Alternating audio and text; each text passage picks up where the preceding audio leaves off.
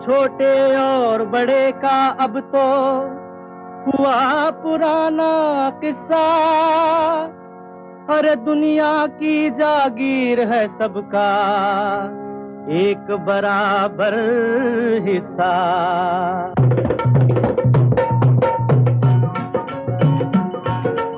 एक पड़ोसी रात को सोए और दूसरा रोए। एक पड़ोसी रात को सोए और दूसरा रोए। तो इंसाफ कहाँ का है? ये इंसाफ कहाँ का है? ये इंसाफ कहाँ का है? अरे कहो, अगर इंसान किसी की राह में कांटे बोए, कहो, अगर इंसान किसी की राह में कांटे बोए तो इंसाफ कहाँ का है? ये इंसाफ कहाँ का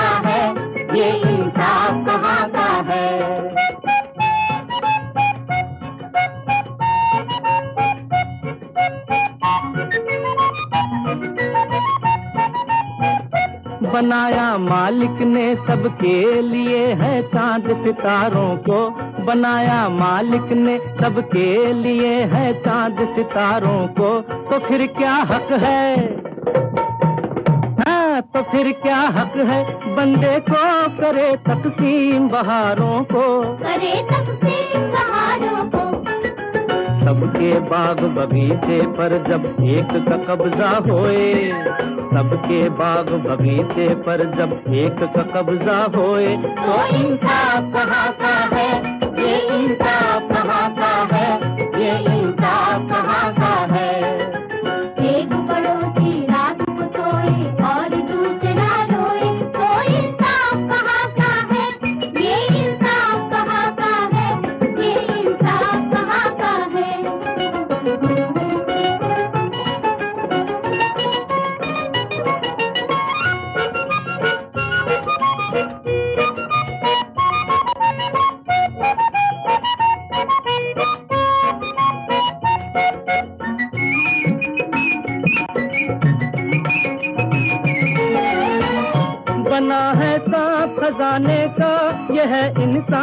नादानी। बना है सांप खजाने का, यह इंसान की नादानी। बताओ कितना खा लेगा, बताओ कितना खा लेगा, ये दाना और हवा पानी। ये दाना अरे पैसे जैसी चीज़ के खातिर कोई शराफत खोए। पैसे जैसी चीज़ के खातिर कोई शराफत खोए। तो इंसाफ कहाँ का है? ये इंसाफ कहाँ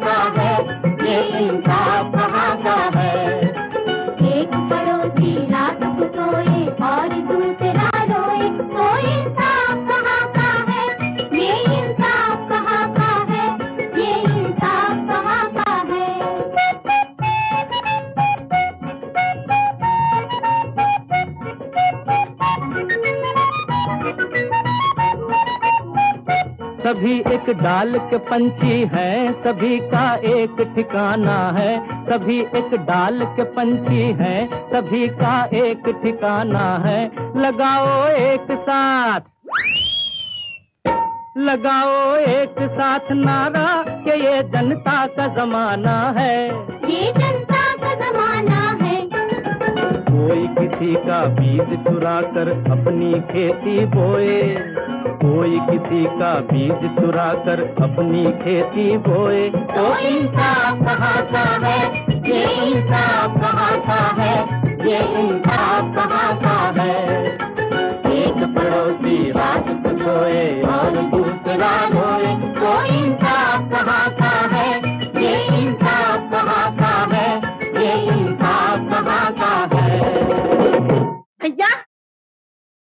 क्या है दुर्गा बहन? देख रहे हो? ओ हाँ हाँ, देख रहा हूँ। हम्म, देख रहा हूँ।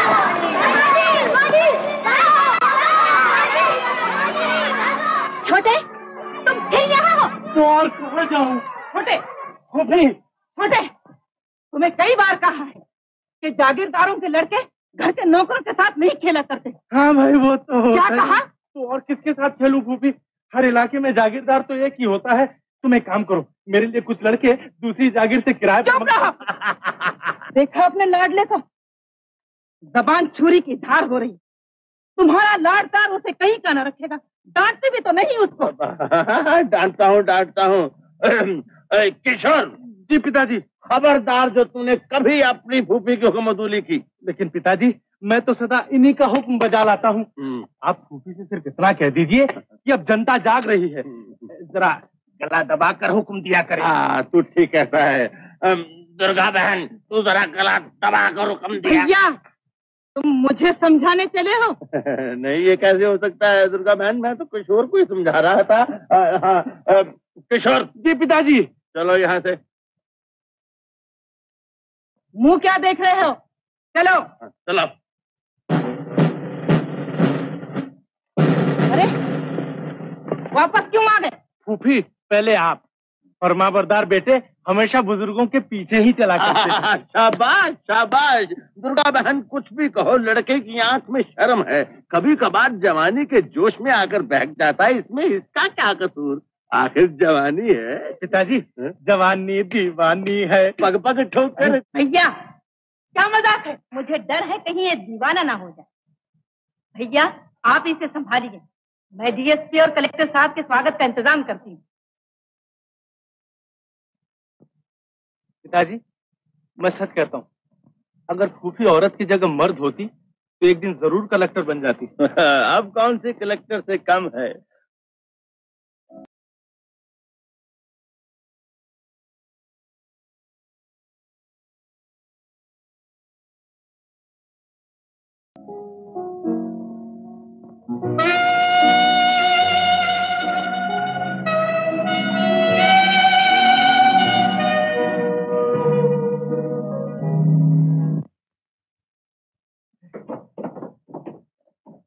Good evening boys good evening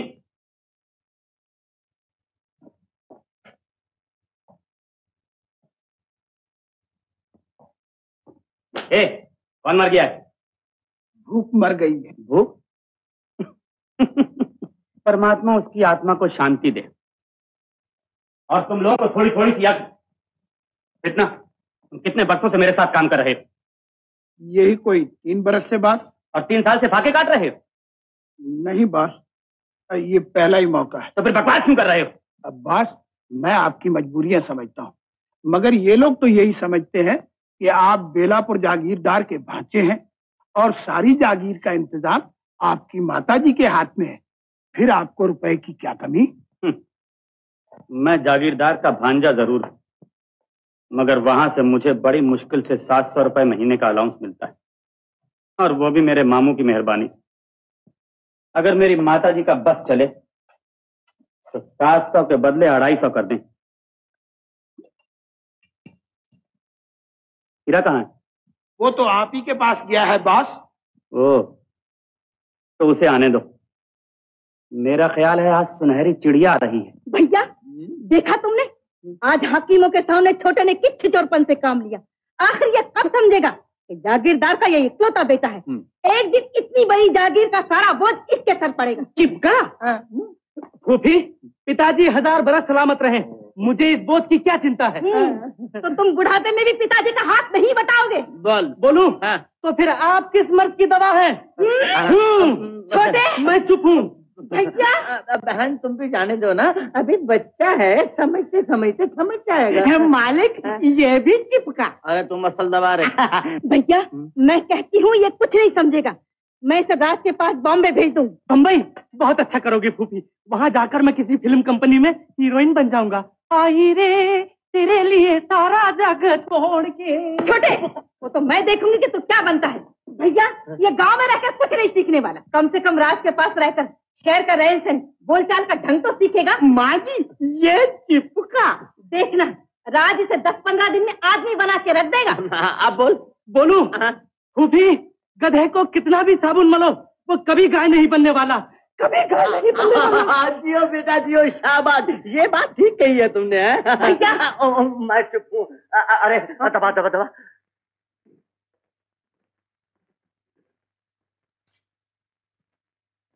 हीरा तुम ग्रेस टेलर्स को तो जानते ही होगे। जी हाँ हाँ। वहाँ मेरा एक नया सूट सिलकर तैयार पड़ा है। किसी तरह उसके मालिक बरकत अली को समझा बुझाकर मेरा वो सूट ले आओ। लेकिन बस कहाँ है? अरे अगर पैसा होता तो मैं खुद जाकर न ले आता। कल निर्मला के चचा चमनलाल लखपति की सालगिरह है।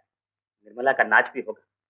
कम से कम अपनी महबूबा के सामने मुझे नया सूट पहनकर तो जाना चाहिए। अब्बास गुस्ताखी निर्मला की मोहब्बत में सूट तो आपने सैकड़ों सुलवाए और फेंक दिए। लेकिन अभी तक शादी का जोड़ा सिलने की नौबत नहीं आई। हीरा तुम अभी तक बच्चे मेरी रस्सी की ढील जरा लंबी होती है। इधर आओ।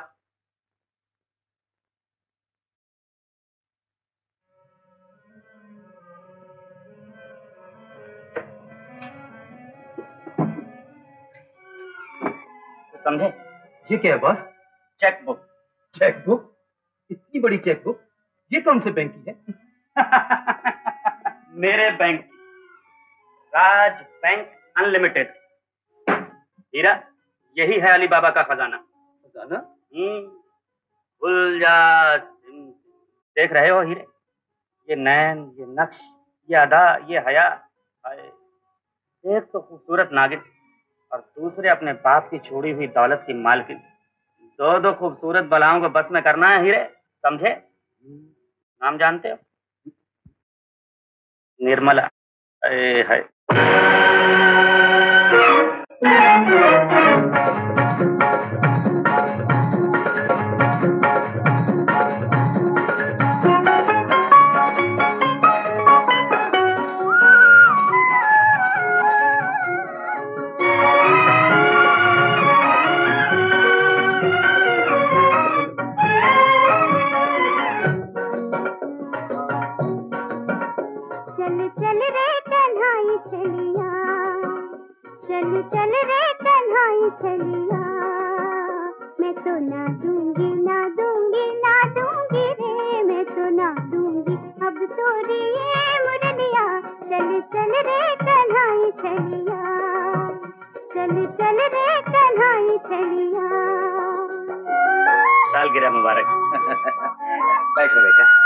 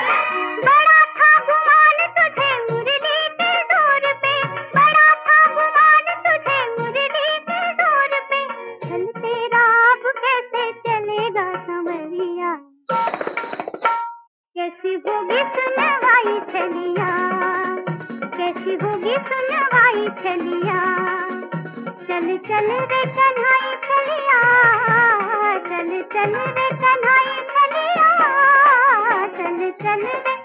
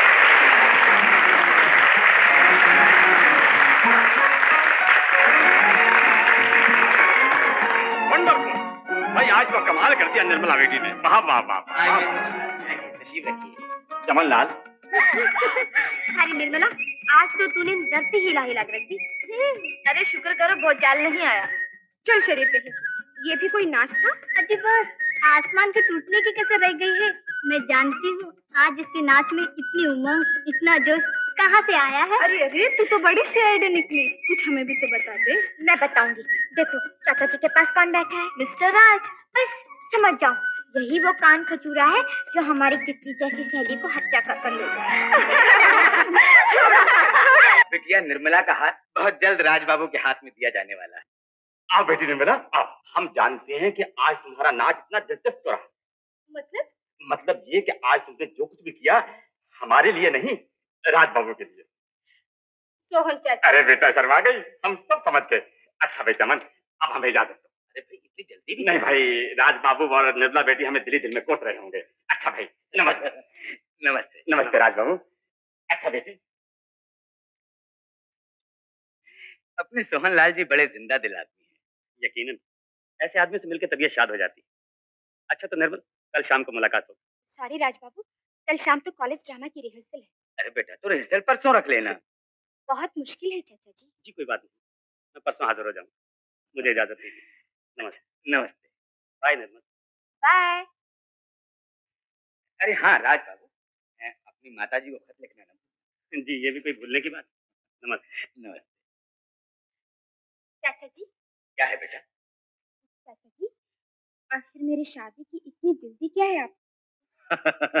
अरे पगली राज जैसा अच्छा और खानदानी लड़का तो किस्मत से ही मिलता है। जब इतना अच्छा मौका हाथ आया है तो उसे खो देना नादानी होगी। चाचा? जी दुनिया भर की सब बातों में तो आप आज़ाद ख्याल हैं। लेकिन मेरी शादी के बारे में आप मुझे आज़ादी नहीं देना चाहते। मैं ऐसा क्यों? बिटिया तुम्हारे भले बुरे का जितना मुझे ख्याल होगा और किसी को हो सकता है भला। हम्म?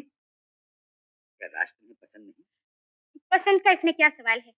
मैं जानती हूँ। अब आपको मेरा यहाँ रहना अच्छा नहीं लगता। आप जल्दी से मेरे हाथ पीले करके मुझे यहाँ से भेजना चाहते हैं। है ना यही बात? नटखट कहेगी अभी तो ये कह रही है और शादी होने के बाद इस घर में आने का नाम तक नहीं लेगी। चाचा जी। आओ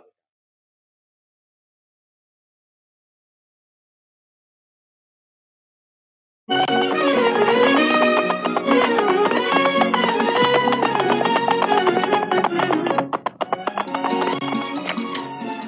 लेकिन तुम हो क्या आज तक मेरे पिताजी से मिले तक नहीं? लेकिन पिताजी की बेटी से तो रोज मिलता हूँ। हटो बड़े आए पृथ्वीराज कहीं के। संजोगता का पृथ्वीराज न सही। अपनी कामनी का किशोर तो हूँ। बातें मत बनाओ। कहो तुम मेरे पिताजी से कब मिल रहे हो? पिताजी से? शादी के रोज तो उनसे मुलाकात हो ही जाएगी। हम्म और शादी उनसे पूछे बगैर हो जाएगी। हाँ। कम से कम वो तुम्हारी सूरत तो देखिए इसीलिए तो मैंने तुम्हें अपनी फ़ोटो दे रखी है। लेकिन फ़ोटो बोल तो नहीं सकती। बोले ना हमारे घर कब आ रहे? इतनी जिद करती हो तो अगले इतवार को ज़रूर आ जाऊँगा। पिछले छह महीनों में चौबीस इतवार आए और चौबीस वादे तुमने किए। अब की अगर ना आए तो पिताजी को लेके सीधी तुम्हारे घर आ जाऊँगी। मंजूर। वो तुमसे मिलने के लिए कितनी बार मुझसे कह चुके हैं। तुम्हारे घर का पता क्या है? अ, अ, ज़रूर पूछना चाहती हूँ। हर्ची क्या है? तो लिखो पेन निकालो।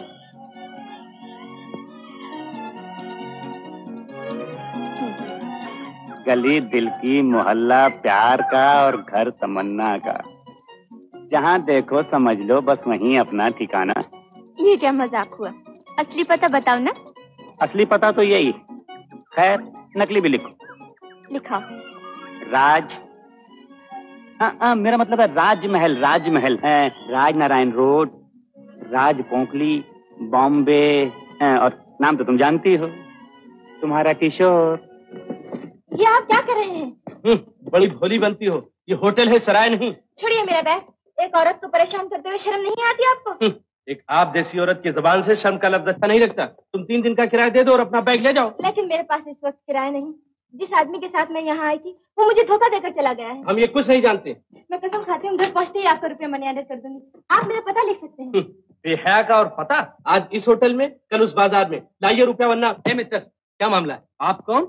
मेरा नाम अब्दुल रहमान। अब्दुल रहमान? जी लेकिन आप इस बेचारी को क्यों परेशान कर रहे हैं? साहब सूरत से तो बेचारी है मगर पेशे से बेहया। तीन रोज हुए इस होटल में किसी मर्द के साथ आई थी। खूब गुल गुलछर्रे उड़ाए और आज किराया दिए बगैर रफू चक्कर हो रही जी जी जी जी। लेकिन आप ये क्यों नहीं समझते कि ये बेचारी किसी धोखेबाज मर्द के शिकार है? इसमें इसका क्या कसूर?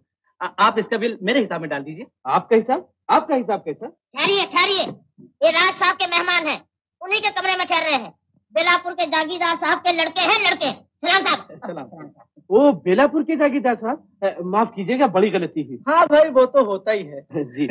मुन्नी देवी आपका हिसाब साफ़ हो गया। आप जा सकते और देखिए इनके लिए एक टैक्सी का इंतज़ाम कर दीजिए। बहुत अच्छा।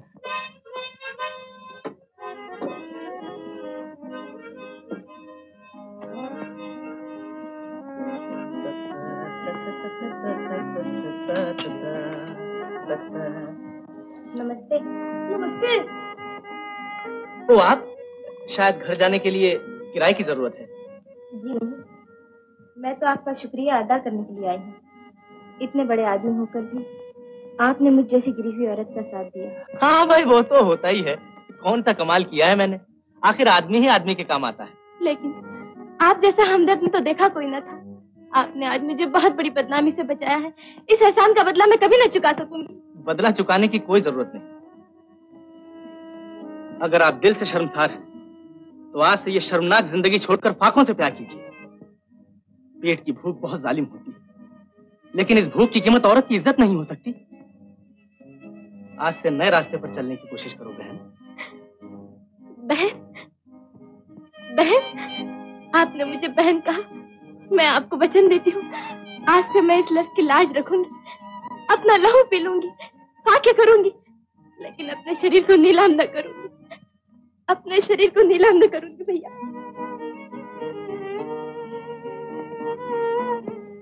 किशोर हाँ। कहाँ मैं यहाँ हूँ। बाहर आओ। अरे कहाँ थे भैया जी? तुम्हारा इंतज़ार करते करते तो बाल सफ़ेद हो गए। किशोर। हाँ भैया जी तुम्हारे बाल नहीं बल्कि खून सफ़ेद हो गया। तुमने शहर में आते हमारे मामा जी का नाम रोशन करना शुरू कर दिया। हाँ भाई वो तो होता ही है। क्या?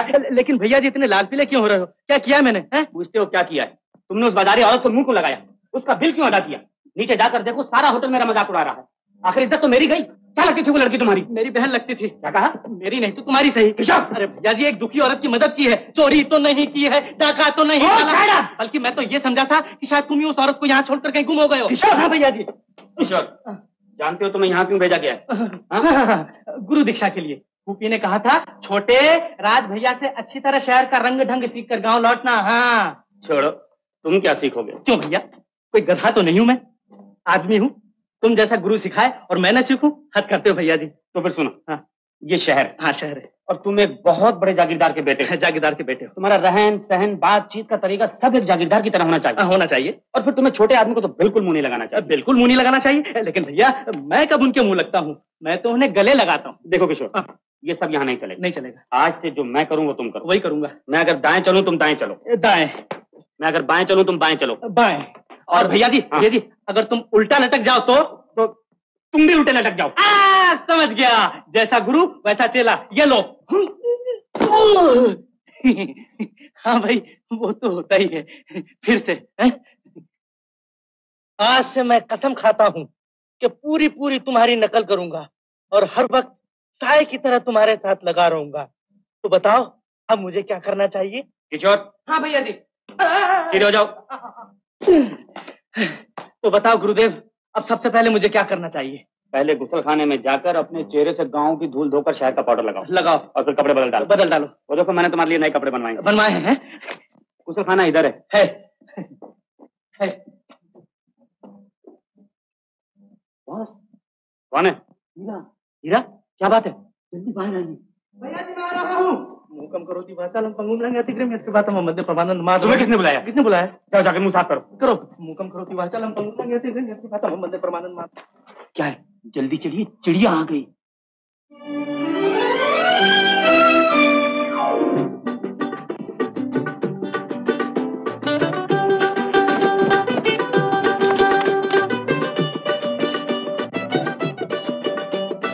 अरे वाह रे वाह। कल तक बेलापुर में दरख्त से फल टपकते तो देखा था लेकिन आज बम्बई शहर में लड़की टपकती पहली बार देखी। है शर्म नहीं आती आपको? किसी की मुसीबत पर हंसना कहाँ की शराफत है? हाँ भाई सॉरी बहन जी आप फिर चढ़िए मैं वादा करता हूँ कभी नहीं हंसूँगा।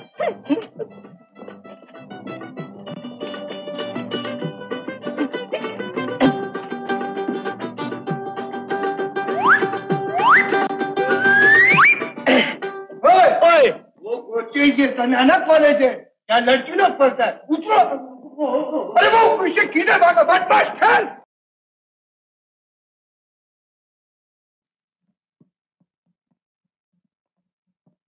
ठहर आया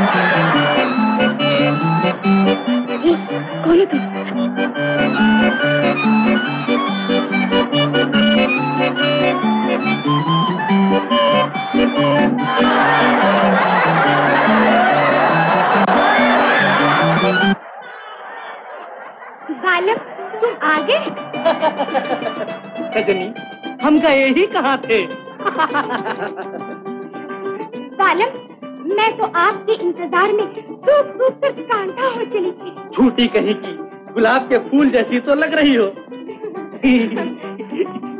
बोलो बोलो अगला डायलॉग बोलो। भूल गई भूल गई। पर्दा क्या नाम है तुम्हारा? किशोर कुमार खंडवा सिटी बॉम्बे बाज़ार रोड गांजा गोदाम के सामने बैलगाड़ी के पास खंबे के नज़दीक जिस पे लिखा है डोंगरे का बाला में लाइब्रेरी के राइट हैंड पे हज़ार पति मैं पूछती हूँ तुमने हमारे प्रोग्राम का सत्यानाश क्यों किया? तुम्हें बगैर इजाज़त अंदर किसने आने दिया अगर आपका टेम्परेचर थोड़ा सा हल्का हो जाए तो कुछ अर्ज़ करूँ। धन्यवाद। पहले आप इस बात का यकीन कर लीजिए कि मैं एक शरीफ और खानदानी लड़का हूँ। उसके बाद अर्ज़ ये है। अर्ज़ ये है। बोलो। अर्ज़ ये है क्या मतलब? कि, मैं कॉलेज की दीवार के बाद खड़ा हुआ था। इतने में इतने में एक लड़की। हाँ लड़की दीवार फाँद कर अंदर जा रही थी। कौन लड़की थी वो? जानते हो तुम उसे? जानता ही नहीं पहचानता भी हूँ। कहाँ है वो? अभी अभी तो ये यही थी। कौन है वो? ये। क्या नहीं नहीं माफ़ करना माफ़ करना।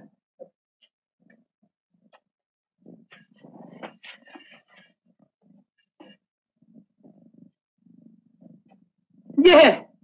मैं? नहीं नहीं नहीं ये, ये भी नहीं ये भी नहीं।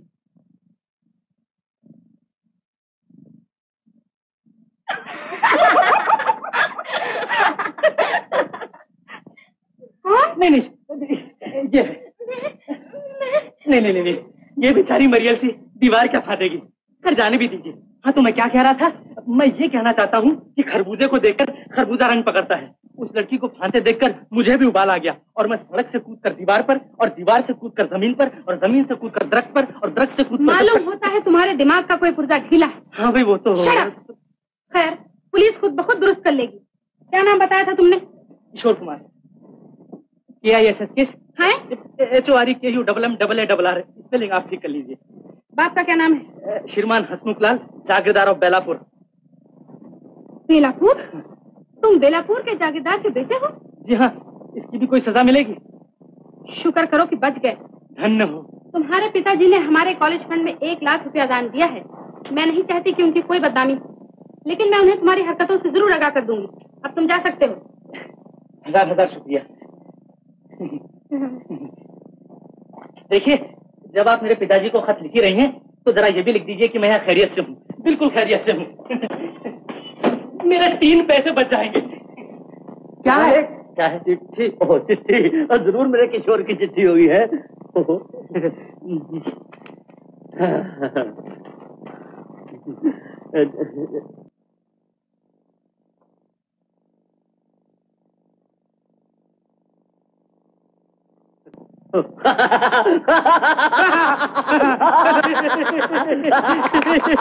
मालिक मालिक क्या कोई बहुत बड़ी खुशखबरी है? अरे मुंशी मुबारक दो मुबारक। मगर किस बात की हुजूर? अरे अपना बेटा जवान हो गया है। मुबारक हो, मुबारक हो। अरे शहर में जाकर शहर की लड़कियों से छेड़छाड़ करने लगी है है। भैया आज सवेरे सवेरे ये जवानी के गुण क्या गा रहे हैं? और ऐसे मालिश करवा रहा था बहन।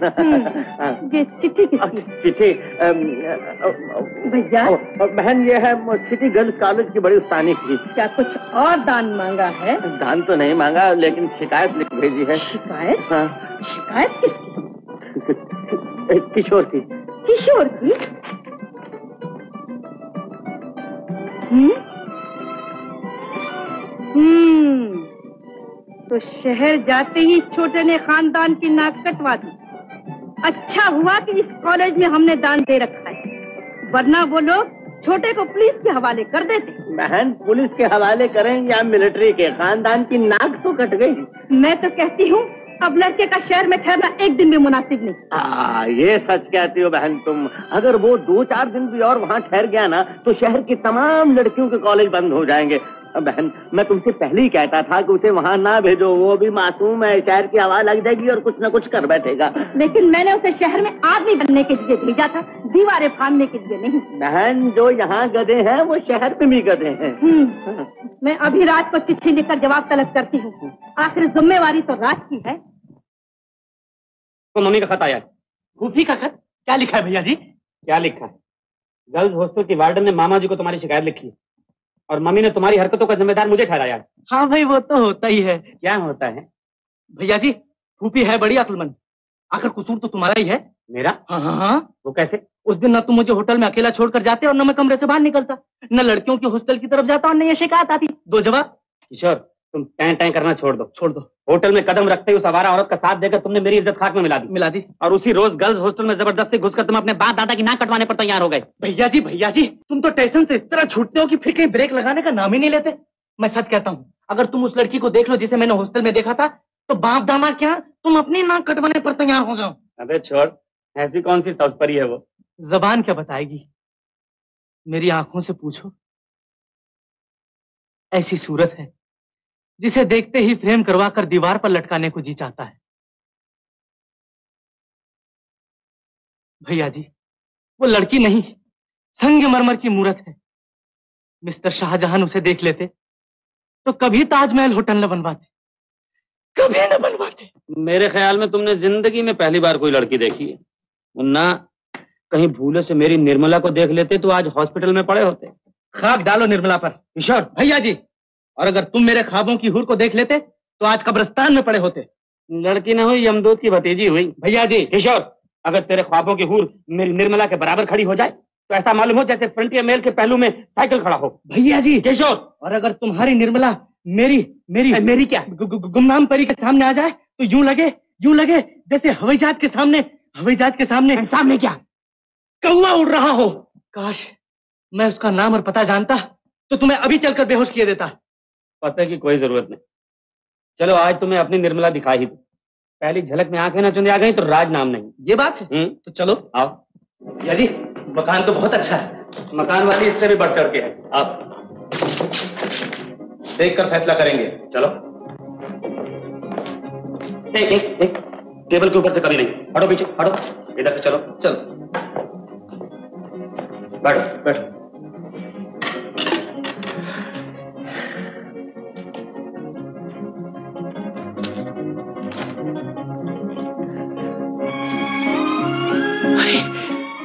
तो वही लड़की है।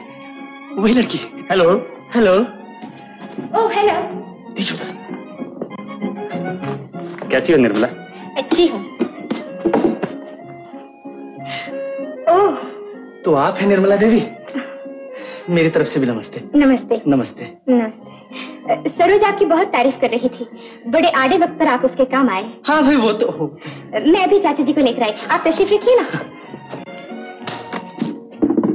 भैया जी हो भैया जी क्या है? हम तो खानों को आपस में सरफोड़ी करते रहे। सरफोड़ी कैसी? मेरा मतलब है तुम्हारी फ्रंटियर मेल और मेरा हवाई जहाज़ तो एक ही निकले। क्या मतलब? मैं तो इसी लड़की की तारीफ़ कर रहा था। इसी लड़की की? हाँ हाँ। तुम्हारी इस लड़की की मुलाकात कहाँ से हुई? हॉस्टल में और कहा। यह बात है याद रखो किशोर। आइंदा इस लड़की का नाम मेरे सामने इज़्ज़त से लिया करो। लिया करो। Hello Raj how are you sir fine thank you आपकी तारीफ़। ये हमारे मामा जी के इकलौते बेटे किशोर बाबू।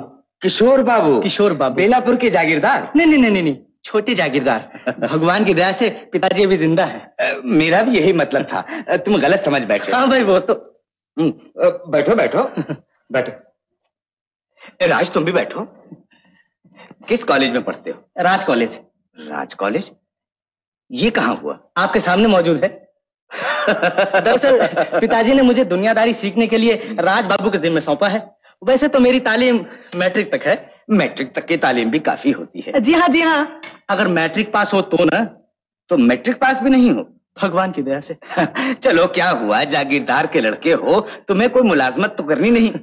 हाँ राज मैंने तुम्हारे मामा जी को तुम्हारी शादी के बारे में लिख दिया है। जी मैंने भी खत लिख दिया है। उम्मीद है कि मामा जी और माता जी हफ़्ते के आखिर तक यहाँ आ जाएँगे। बहुत खूब बहुत खूब। आओ बिटिया निर्मला आओ। आज हमारे घर में एक बहुत बड़ा मेहमान आया है। मैं इन्हें पहले से जानती हूँ चाचा जी। एक दिन हॉस्टल में इनसे मुलाकात हुई। हॉस्टल में? जी। लेकिन लड़कियों के हॉस्टल में इनका क्या काम? ओह याद आया। इनके पिताजी ने इस हॉस्टल को एक बड़ी रकम दान दी है। जी मैं हॉस्टल में दान लेने गया था। हमें अब इजाज़त दीजिए। किशोर को एक ज़रूरी काम से बाज़ार जाना है। कौन सा बाज़ार भैया जी? भिंडी बाज़ार। बात दरअसल ये है कि शहर में नया नया आया है। गली कूचों के नाम से नहीं बात हम्म, हम्म, आओ किशोर। चलो भैया जी मैं तो भूल ही गया था। लेकिन किशोर बाबू आप तो ये पीना भी भूल गए हैं। अरे हाँ मैं तो भूल ही गया था। तो पीजिए ना। ओह हाँ, हाँ।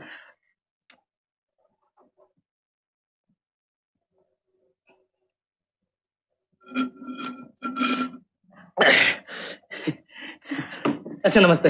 नमस्ते। क्यों? क्या हुआ? कहाँ गया? क्या? यही तो रखा था। क्या रखा था? वो... क्या कोई चीज़ गुम हो गई है? जी हाँ मेरे हाथ में बाजा था। बाजा? बाजा। कैसा बाजा? ओ ये रहा। है? ओह धन्यवाद। दरअसल मुझे गाने बजाने का बहुत शौक है। हम्म, ये तो अच्छा शौक है। जी हाँ खानदानी शौक है। हम्म, मेरे पिताजी भी गाने बजाने पर जान देते हैं। अच्छा? दिन भर में जब तक दो चार हारमोनियम तोड़ न ले उन्हें खाना हजम नहीं होता। अरे आपका बाजा नमस्ते। नमस्ते। नमस्ते। नमस्ते। अरे मुंशी जी जी। जल्दी करो ना। बम्बई में पाँव रखते ही बुरा शगुन हुआ। बदतमीज बदतमीज कही की। आँखें होते हुए अंधों जैसी हरकतें। क्या हुआ जी? देखती नहीं मेरे सारे कपड़े खराब हो गए। माफ़ कीजिए इसमें मेरा क्या कसूर है? सड़क पर कीचड़? हम्म, तो इसका यह मतलब नहीं कि सड़क से कीचड़ उछाल कर मेरे कपड़े खराब कर दो। I am sorry I am really very sorry sorry वारी मैं कुछ नहीं जानती। एक तो लड़की होकर लड़कों जैसी हरकतें ऊपर से अंग्रेज़ी झाड़ रही। अरे वाह! देखिए जी मैंने पहले ही आपसे माफ़ी मांग है। फिर क्यों आप लाल पीली हो रही है? लाल पीली हो मेरी बला। जानती हो? जानती हो मैं कौन हूँ? हम्म और आप जानती हैं कि मैं कौन हूँ? किस बात की किस बात की मूली हो तुम? जिस बात की आप गाजर हैं कुछ समझ में आया? हम्म सब समझ में आ जाएगा। मुंशी जी इसकी फटफटी का नंबर ले लो। चिपका। अरे मिस्टर छिपका फटफटी तो अभी रजिस्टर भी नहीं हुई। ताज़ा ताज़ा दुकान से लेकर आई हूँ। हाँ। टाटा। क्या बदतमीजी है? ओ मम्मी आने की खबर तो दी होती। खबर देती तो ये कैसे पता चलता कि बरखुरदार शहर में ग्यारह ग्यारह बजे तक सोए रहते हैं? छोटे? फूफी फूफी फूफी फूफी मेरी आँख तो पिछले पहरी लगी थी। रात भर कौन सी चक्की पीसते रहे? रात भर राज भैया का इंतज़ार करता रहा। अब तो मैं ज़रूर बोलूँगा। पता नहीं ये इतनी रात गए तक कहाँ रहते हैं? फ़िक्र न करो। अब आ गई हूँ सब पता लगा लूँगा। छोटे ये क्या हुलिया बना रखा है तुमने? शहर में आकर भी देहाती के देहाती ही रहे। चिपका नहीं माँ जी छोटे बाबू शहर में आके पहले से काफ़ी बदल चुके हैं। गाँव में तो ये धोती बांधते थे यहाँ आकर तो बिस्तर बांधने लगे हैं। क्यों राज? ये चमनलाल कौन है? और उसके लड़के निर्मला कैसी फूफी मम्मी लड़की बहुत अच्छी है। है लेकिन चमनलाल उसके पिता नहीं चाचा है। तो यूँ कहो ना कि यतीम है। कुछ भी समझ लो मम्मी निर्मला के बाप ने काफ़ी जायदाद छोड़ी है। चाचा तो सिर्फ़ निर्मला का सरपरस्त है और खुद भी खासा खट्टा पीता आदमी है। शहर में इज़्ज़त की नज़र से देखा जाता है और अक्सर लोग उसे लखपति के नाम से पुकारते हैं। लखपति? अरे तुम उस चमनलाल लखपति का ज़िक्र कर रहे हो? हाँ फूफी उसी लखपति चमनलाल का। मुझे तो पहले ही पता था कि फूफी ज़रूर उसे जानती होगी। आखिर हिंदुस्तान में ऐसा कौन सा पैसे वाला उल्लू का पट्टा है जो फूफी की नज़र से न गुजरा हो? ज़्यादा बात नहीं किया करते। चमनलाल लखपति तो काफ़ी बातों बातूनी आदमी है। हरिद्वार जाते हुए रेल में मेरी उससे मुलाकात हुई अच्छा मम्मी? फ़र्स्ट क्लास के डिब्बे में बगैर टिकट सफ़र कर रहा था। मम्मी ये तो बहुत पुरानी बात होगी। अब तो काफ़ी धन दौलत का मालिक है। अरे भैया जी गोली मारो उसकी दौलत को। असली दौलत तो दरअसल निर्मला का रूप रंग है। अगर मिस्टर शाहजहां ज़िंदा होते। छोटे बाबू क्या वाकई बहुत खूबसूरत है? मुंशी काका इतनी खूबसूरत है। इतनी खूबसूरत है। कि उसके गाल के तिल पर हमारी सारी जागीर निछावर। छोटे शर्म नहीं आती फुप्पी के सामने ऐसे बातें करते हुए? बस। राज लखपति को खबर कर दो कि आज शाम हम निर्मला को देखने आ रहे हैं। अच्छा अब मैं जरा स्नान करके पूजा पाठ कर लूँ। अच्छा मम्मी हम्म।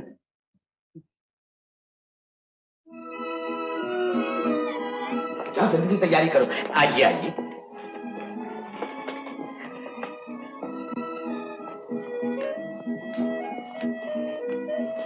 तशरीफ़ रखिए। आप लोग भी बैठिए। अपना ही घर समझिए बैठिए बैठिए। मैं आप लोगों के जलपान का इंतज़ाम करके अभी आता हूँ। अरे गंगू। फूफी ओ फूफी अब तो बैठ जाओ। मकान का जोग्राफिया समझने के लिए अभी बहुत वक्त है। छोटे मैं चुप हूँ। कहिए सफ़र में कोई तकलीफ़ तो नहीं हुई? जी बिल्कुल नहीं। हम्म। तकलीफ़ क्यों होती? टिकट जो खरीदा था। आखिर टिकट के बगैर कौन सफ़र करता है माँ जी कुछ आप जैसे ही लोग होते हैं। मैं जानती थी कि आप वही चमनलाल लखपति हैं जो दस वर्ष पहले हरिद्वार की गाड़ी में बगैर टिकट सफ़र कर रहे थे। होटल होटल क्यों? याद है ना आपको? आपको धोखा हुआ होगा माँ जी गंगू लाओ नाश्ता लाओ नाश्ता। मैं तो कभी हरिद्वार गया ही नहीं। हुजूर, चिपका। गंगू? हाँ याद आया। मेरी ही शक्ल का मेरा एक दोस्त हुआ करता था। उसका नाम भी चमनलाल था। वो अक्सर तीर्थ यात्रा को जाया करता था। बेचारे के हालात अच्छे नहीं थे। खैर छोड़िए इस बात को। छोड़िए इस बात को। आपके हालात कैसे हैं? मैंने सुना है कि लड़की के नाम कुछ जायदाद रखी है। आप जो कुछ देख रही हैं ये सब कुछ बेटी निर्मला का ही है। मैं तो सिर्फ़ इस जायदाद का रखवाला हूँ। ये मकान किसका है? बस सिर्फ़ ये मकान ही मेरा है लेकिन मैंने इस पर कुछ कर्जा ले रखा है। तो यूँ कहिए ना कि गिरवी पड़ा है। चिपका। कागजात कहाँ है? फूफी दरअसल बात यह है माँ जी कि मेरे बड़े भाई यानी निर्मला के पिताजी निर्मला के नाम एक लाख रुपया छोड़ गए थे। मैंने वो रुपया कारोबार में लगा दिया। अब भगवान की कृपा से चार लाख रुपए हो गए सिर्फ़ चार ही लाख? मैंने वो चार लाख रुपया सिटी बैंक में जमा करा रखा है। आपके भैया तो उस बैंक के करता धरता है। जानती हूँ। इसीलिए तो उस बैंक का दिवाला भी जल्दी निकलने वाला है। बैंक का दिवाला? लेकिन बैंक तो अच्छी तरह चल रहा है माँ जी। वो बैंक के खाक चलेगा जो सर्कस कंपनियों को उधार देता है। ये तो बड़ा अच्छा कारोबार है फूफी। सर्कस कंपनी फेल भी हो जाए मगर हाथी बंदर और शेर तो बच रहेंगे। छोटे। मैं चुप हूँ। खैर, ये सब तो सुन लिया। अब लड़की भी दिखा दीजिए। दिखा दीजिए। निर्मला?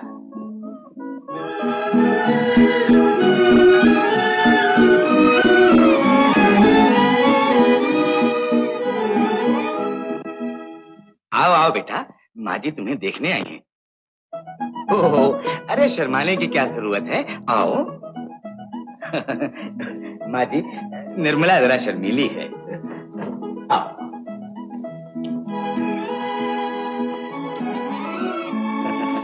बेटा सबको नमस्ते करो। मुंशी जी। जी। ये वही लड़की है ना मोटरसाइकिल वाली? चिपका। माँ जी है तो बिल्कुल वही चिपकी। हम्म। आपको धोखा हुआ है माँ जी। निर्मला बिटिया मोटरसाइकिल तो क्या साइकिल चलाना भी नहीं जानती। हाँ शायद मंजू होगी हमारे पड़ोस में रहती है। वो मोटरसाइकिल की बहुत शौकीन है। और उसकी शक्ल भी हमारी निर्मला से बहुत कुछ मिलती जुलती है। छोटे फूफी। जान पड़ता है इस घर में सबकी सूरतें किसी न किसी से मिलती जुलती है। हेलो यस सिटी बैंक कौन एजेंट साहब? जी हाँ चमनलाल जी हैं। आपका टेलीफोन थैंक यू हेलो जी मैं चमनलाल बोल रहा हूँ। कहिए कैसे याद फरमाया? जी? क्या कह रहे हैं आप? जी? बैंक फेल हो गया। मेरा सारा रुपया। हेलो? हेलो? हेलो? मैं तो जानती ही थी कि वो बैंक क्या चलेगा जिसके करता धरता मेरे भैया जागीरदार लोग धंधा करना क्या जानते। राज? जी। आओ चलो बेटा। चलिए। माँ जी इस तरह मत चाहिए रुपया चला गया। लेकिन शराफत तो नहीं गई है। निर्मला जैसी सुशील और पढ़ी लिखी लड़की को रुपए की तराजू में मत तोलिए। भगवान का दिया आपके पास सब कुछ है। आपको हमारे रुपए की क्या ज़रूरत है? आपको तो घर को स्वर्ग बनाने वाली बहू चाहिए। चमनलाल जी फिर भी खानदान और उसकी हैसियत तो देखनी पड़ती है। क्यों भैया जी? बैंक फेल होते ही आपकी मोहब्बत भी फेल हो गई। किशोर। हाँ भैया जी। बेवकूफों जैसी बातें ना करो। न करो। बेलापुर के जागीरदार का भांजा और एक कंगाल की भतीजी से शादी करे। मगर भैया जी आप तो सिर्फ़ बेलापुर के जागीरदार की बहन के बेटे हैं। लेकिन मैं तो बेलापुर के जागीरदार का बेटा हूँ। क्या ख्याल है आपका? अगर मैं इस कंगाल की भतीजी से शादी कर लूँ? छोटे। वो भी। छोटे? इस बार मैं चुप नहीं रहूँगा। हम्म? लेकिन आप घबराइए नहीं। मैं ऐसा करने वाला नहीं। मैं मैट्रिक फेल एक बिगड़े हुए रईस का बेटा इस बीए पास के काबिल कहा छोटे अपनी जबान को लगाम दो। चमनलाल जी हमें ये रिश्ता मंजूर नहीं। तो वो रहा दरवाज़ा। आप तो इस तरह यहाँ आई थी जैसे कि पुलिस इंस्पेक्टर किसी चोर के घर में आता है। बिटिया। आपको ये सुनकर खुशी होगी कि हरिद्वार की गाड़ी में आपकी जिससे मुलाकात हुई थी वो यही थे मेरे चाचा। और सुबह जिस लड़की ने मोटरसाइकिल समेत आप पर हमला कर दिया था वो मैं ही हूँ। समझ गई आप? हम्म। मैं जानती थी ये खानदानी बहरूपियों का है। तुझ जैसी लड़की को कौन अपनी बहू बनाएगा? और आप जैसी हिटलर की चेली को कौन अपनी सास बना रहा है? नमस्ते। राज बेटा चलो चलो। बिटिया ये तुमने क्या किया? चाचा जी। जागीरदार साहब। हाँ? ये किसने मुझे जागीरदार कहकर पुकारा? आपकी जबान मुबारक हो। तशीफ रखिए। तशीफ रखिए ना। आप हैं कौन? जी मैं कामनी का बाप हूँ। ज़रूर होंगे। लेकिन ये तो बताइए कि कामनी कौन है? तो कामनी को तुम नहीं जानते।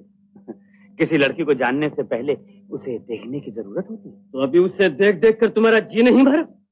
किशोर तुम अच्छी तरह जानते हो कि कामनी कौन है और ये भी जानते हो कि तुमने एक अनजान लड़की की इज़्ज़त पर हाथ डाला है एक मासूम का दामन इससे ज़्यादा लफाजे की ज़रूरत नहीं।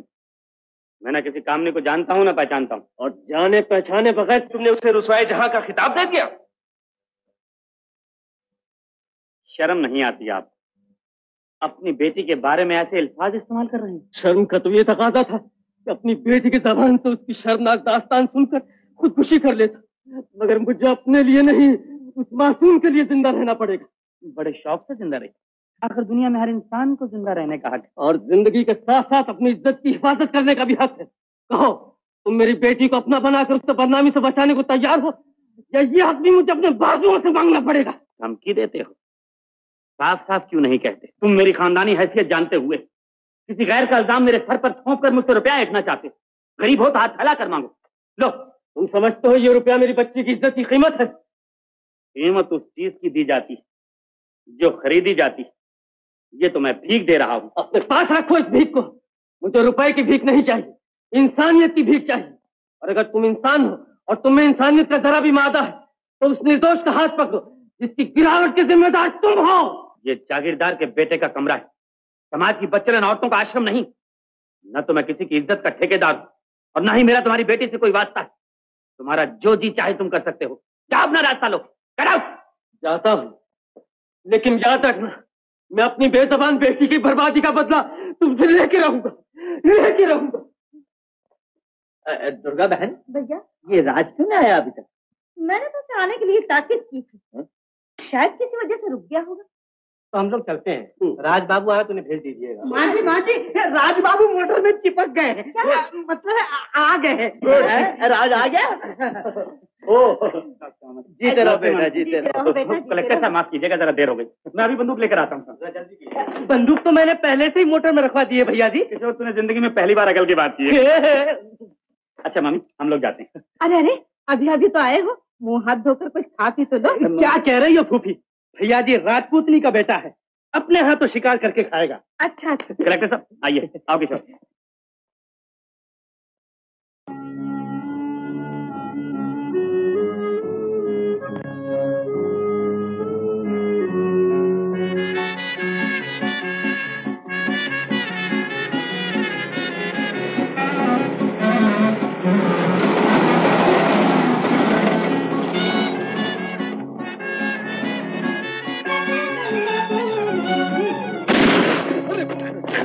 अरे क्या क्या कोई शिकायत है क्या बताऊँ कलेक्टर साहब? एक लोमड़ी एक लोमड़ी शेर की खाल पहनकर हवा में उड़ रही थी। बच के निकल गई। देखो बरखुरदार यूँ ही हवा में गोलियाँ छोड़ते रहे तो हम में से किसी न किसी की जान ले बैठोगे। हाँ भाई वो तो होता ही है। याद रखो कहीं उल्टी सीधी बंदूक दबा दी तो कानून के हत्थे चढ़ जाओगे। डीएसपी साहब जब कानून के मुहाफिज हमारे साथ हैं तो फिर कानून की क्या परवाह? इस वहम में न रहो मिस्टर राज। कानून दोस्ती और मुरबत को कभी नहीं देखता। डीएसपी साहब इतनी देर में तो तीन चार चूहे मार लिए होते। खैर चूहों की बात छोड़ो। अब सब अलग अलग रास्ता पकड़ लो शाम को फिर इसी जगह मुलाकात होगी। भैया जी मैं किधर जाऊँ? नाक की सीध में।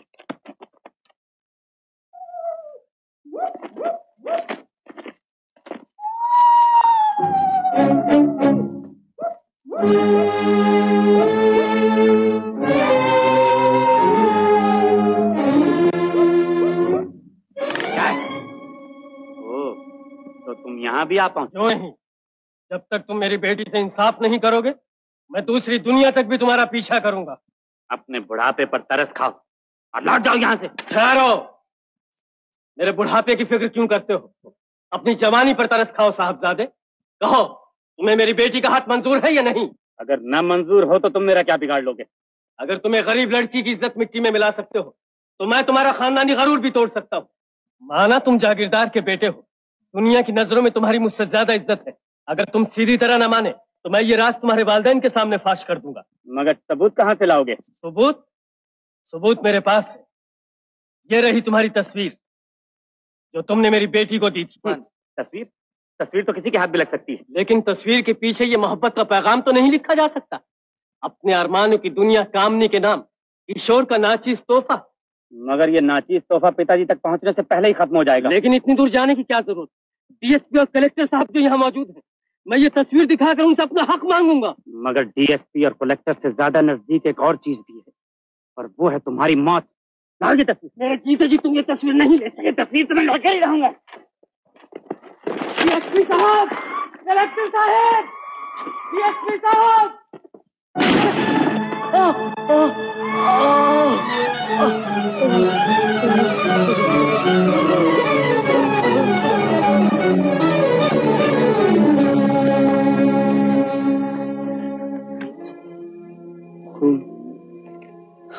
अब क्या होगा? कानून दोस्ती और मुरबत को नहीं देखता। कानून दोस्ती और मुरबत को नहीं देखता।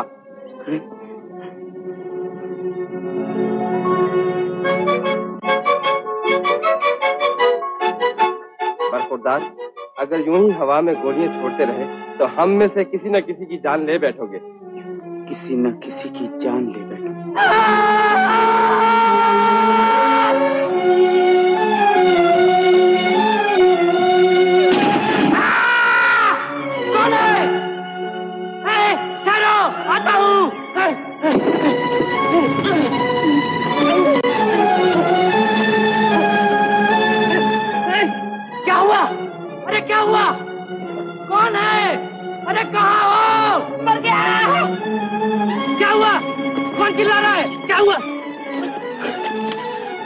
भैया कौन हो तुम। ए भैया खून खून भैया जी भैया जी खून भैया जी भैया जी भैया जी भैया जी ये ये कौन है? भैया जी मुझे नहीं मालूम ये कौन है। किशोर ये क्या किया तुमने? मैंने कुछ नहीं किया भैया जी। मैंने तो सिर्फ़ गोली चलाई थी और वो गोली इसके लगी। ये तुमने क्या किया? चलो इसे अस्पताल ले चले शायद जान बच जाए। ठहरो ठहरो।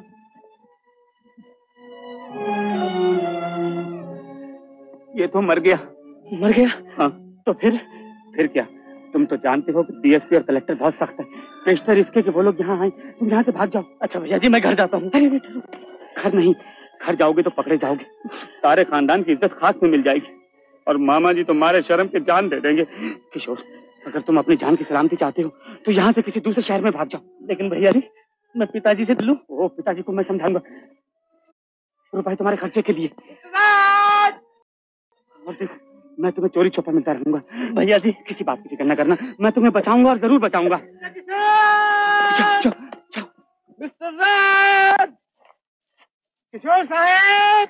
क्या किशोर? ए कौन हो तुम? उठो। इसे तो गोली लगी है। गोली? तो ये लोग कहाँ गए? मिस्टर राज! राज साहब! आया! डीएसपी साहब आज तो सारा दिन बेकार गया। एक भी पानी पानी। पानी लाओ।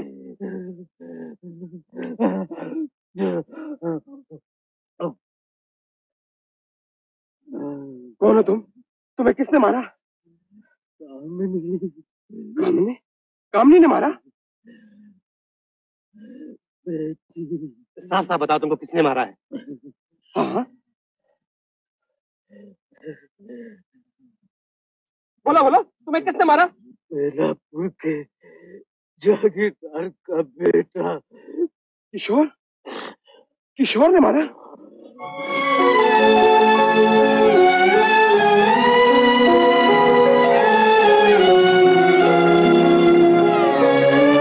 मिस्टर राज ये बंदूक किशोरी की है ना? डीएसपी साहब मैं हाँ बताइए घबराइए नहीं। कलेक्टर साहब मैं अपने मुँह से कैसे कहूँ कि ये बंदूक किशोरी की है? प्लीज़ उसे बचा लीजिए। मिस्टर राज कानून दोस्ती और मरम्मत को कभी नहीं देखता। बॉडी को पोस्टमार्टम के लिए भिजवाइए। और किशोर को फ़ौरन गिरफ़्तार किया जाए। यस सर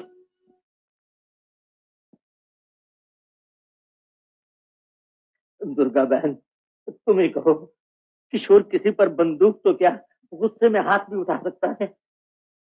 ये सरासर झूठा इल्ज़ाम।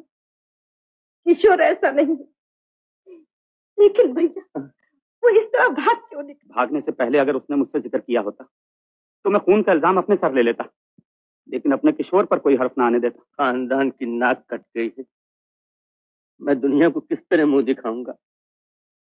दुर्गा बहन तुम घर बार संभालो। मैं किशोर की तलाश में जाता हूँ। जब तक वो नहीं मिलता झूठ और सच का पता कैसे चल सकता है? मामा जी मेरे होते हुए आप क्यों परेशान होते हैं? मैं किशोर की तलाश में अपनी जान की बाजी तक लगा दूँगा। दुनिया इधर से उधर हो जाए। लेकिन मैं अपने मासूम भाई को आपके पास लाकर ही छोड़ूँगा। हाँ बेटा पुलिस के हाथ आने से पहले किशोर को एक बार हमसे मिला दो। हम अपना धन दौलत जागीर सब कुछ लुटा देंगे पर किशोर पर आँच न आने देंगे। बेटा। जागीरदार साहब जो कुछ भी हुआ उसका मुझे बेहद अफसोस है लेकिन कानून दोस्त और दुश्मन में तमीज नहीं करता। हमें इस घर की तलाशी लेना ही होगी। लेकिन डीएसपी साहब आप इतने बड़े घराने की तलाशी नहीं ले सकते। राज कानूनी कार्रवाई में दखल देना अच्छा नहीं। आप तलाशी ज़रूर लीजिए। शुक्रिया।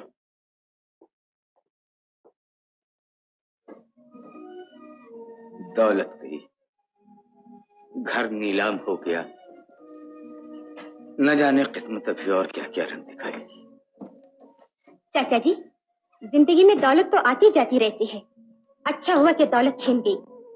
दौलत न जाती तो राज जैसा लालची और निकम्मा आदमी मेरी किस्मत का मालिक बन जाता। भगवान जो कुछ करता है अच्छे के लिए ही करता है। नहीं बिटिया ये सब कुछ मेरी नादानी की वजह से हुआ है। न मैं सिटी बैंक में रुपया जमा करवाता न ये दिन देखने में आता। चाचा जी मुझे आपसे एक और शिकायत है। और शिकायत है? क्या शिकायत है बिटिया? बताइए अगर मेरी जगह आपकी अपनी बेटी होती तो क्या उसके सामने भी आप इसी तरह सफे पेश करते? जीती रहो बिटिया जीती रहो। भगवान ने जितना सुंदर चेहरा दिया है उससे कहीं ज़्यादा बढ़कर खूबसूरत दिल दिया है। अगर आप मुझे इतनी अच्छी शिक्षा न देते तो ये दिल की खूबसूरती कहाँ से आती? गंगू ये सामान ले चलो। आओ बिटिया चलो किसी होटल में चले चलते हैं। उम्र भर का एक साथ खाया पिया इस तरह हराम न करो। अगर तुम्हें मुझ पर दया नहीं आती तो कम से कम अपनी बेटी निर्मला पर ही रहम खाओ। कल तक तुम उसे बेटी कहकर पुकारते थे। क्या आज तुम देख सकोगे कि तुम्हारी वही बेटी दर बदर सहारे के लिए भटकती फिरे? इतना जज्बाती होने की कोई ज़रूरत नहीं चमनलाल। मकान आज ही खाली करना होगा। सोहनलाल सिर्फ़ दो महीने के लिए मैं तुमसे भीख मांग रहा हूँ। दो महीने नहीं ये पंद्रह सौ रुपए की भीख है चमनलाल। मैंने मकान का किराया सात सौ पचास रुपए महीना फैसला किया है और तीन महीने की पेशगी भी ले चुका हूँ। तो तुमने उम्र भर की दोस्ती कीमत पंद्रह सौ रुपए लगाई है। सोहन, याद करो वो दिन, जब तुम फटे पुराने कपड़े पहनकर मेरे पिताजी के पास आए थे। तुम्हारी सूरत पर लानत और फाके बरस रहे थे। मेरे पिताजी ने तुम्हें अनाज समझकर मुलाजिम रखा। तुमको अपने कारोबार का एक एक नुक्ता समझाया। उस वक्त तुम, उस वक्त तुम मेरे पिताजी के सामने बैठने की ज़रूरत नहीं करते थे। और आज आज तुम अपने उसी मोहसिन के बेटे, अपने उम्र भर के दोस्त के साथ पंद्रह सौ रुपए की हकीर बात कर रहे हो? अब मैं समझा, मेरे पिता ने एक अनाथ को सहारा नहीं दिया था, एक सांप का खून पिलाया था। चमनलाल क्या तुम चाहते हो कि मेरा चपरासी तुम्हें धक्के देकर यहाँ से बाहर निकाल दे? खामोश! कल के भिखारी, आज तुम चपरासी वाले हो गए। याद रखो याद रखो। किसी के दिन बदलते देर नहीं लगती, सोहनलाल। काश काश मैंने एक नमक हराम दोस्त के बजाय कुत्ते को पाला होता। कुत्ते को पाला होता।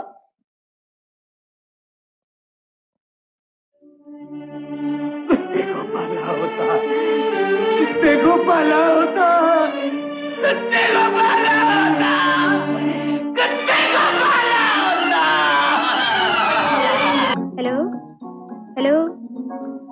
सोहनलाल जी का ऑफ़िस है? जी मैं निर्मला हूँ। वहाँ सेठ जी है? नहीं है? अच्छा देखिए मेरे चाचा जी कल आपके यहाँ गए थे और अभी तक वापस नहीं आए। क्या कहा? सीरियस है क्योंकि mission hospital. Belapur murder case Raunak Lal का खून हो गया। बेलापुर जागीरदार के बेटे किशोर ने रौनक लाल का खून कर दिया। बेलापुर जागीरदार मुलगा किशोर ने रौनक लाल का खून केला रौनक लाल का खून केला। रौनक लाल का खून खून ही फरार हो गया रौनक लाल का खून। इंस्पेक्टर साहब आप तो शीप लिखिए मैं जरा मसरूफ हूँ। बाद में आपसे बात करता हूँ। अच्छा। किशोर तुम? गौर से देखिए और फिर जवाब दीजिए। मैंने इस आदमी को कभी नहीं देखा। कभी नहीं? ताज्जुब की बात है। मरने से पहले आपके पिताजी ने बयान दिया था कि उनका खून बेलापुर के जागीरदार के लड़के ने किया है। और आपका कहना है कि आपने उसे कभी देखा ही नहीं? बहुत खूब इंस्पेक्टर साहब ये आदमी खूनी है? जी आप इसे जानती हैं? जी। ऐसे याद पड़ता है? कहीं इसे देखा है? जरा हाफजे पर ज़ोर डालिए। ये आदमी इनके पिताजी का कातिल है। ओह, जी कुछ याद नहीं आ रहा। शायद ये मेरा वहम हो। मेरा नाम निर्मला है। मेरे चचा चमनलाल लखपति आज सुबह अस्पताल से गुम हो गए हैं। अस्पताल वालों का कहना है कि उन्होंने पुलिस को खबर कर दी है। दुरुस्त है। रिपोर्ट हमारे पास दर्ज है और कोशिश भी जारी है। लेकिन मिस्टर चमनलाल का अभी तक कोई पता नहीं चला। आप ऐसा कीजिए अपना पता दे जाइए। जो ही उनका कोई सुराग मिला तो आपको खबर कर दी जाएगी। जी मैं खुद ही आकर खबर ले जाया करूँगी। दरअसल मेरे रहने सहने का इस शहर में कोई ठिकाना नहीं।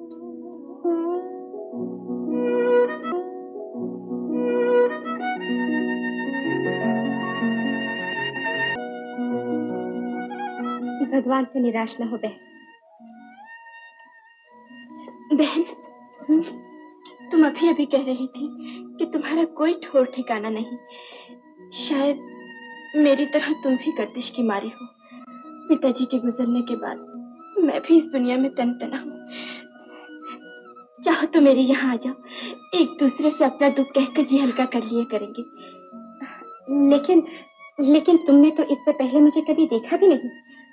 घर में किस तरह रख लोगे मुझे? तुम भी दुखिया हो और मैं भी दुखिया। दोनों की एक ही बिरादरी है। इससे बढ़ के और जान पहचान की क्या ज़रूरत है बहन? निर्मला देवी ये तो बहुत ही अच्छी बात है। मुसीबत में एक दूसरे के काम आ सकोगी। अच्छा इंस्पेक्टर साहब। मैं इंस्पेक्टर जगदीश को समझा देता हूँ। Mister Jagdish? Yes sir inspector general का फ़ोन था। बेलापुर मर्डर केस के बारे में कह रहे थे। रौनक लाल का खूनी किशोर फरार हो चुका है। बम्बई में उसकी तलाश के लिए इंस्पेक्टर जनरल ने आपको मुकर किया है। और साथ ही साथ इस मामले में चौकन्ना रहने की हिदायत भी की है। क्योंकि मामला संगीन I shall do my best sir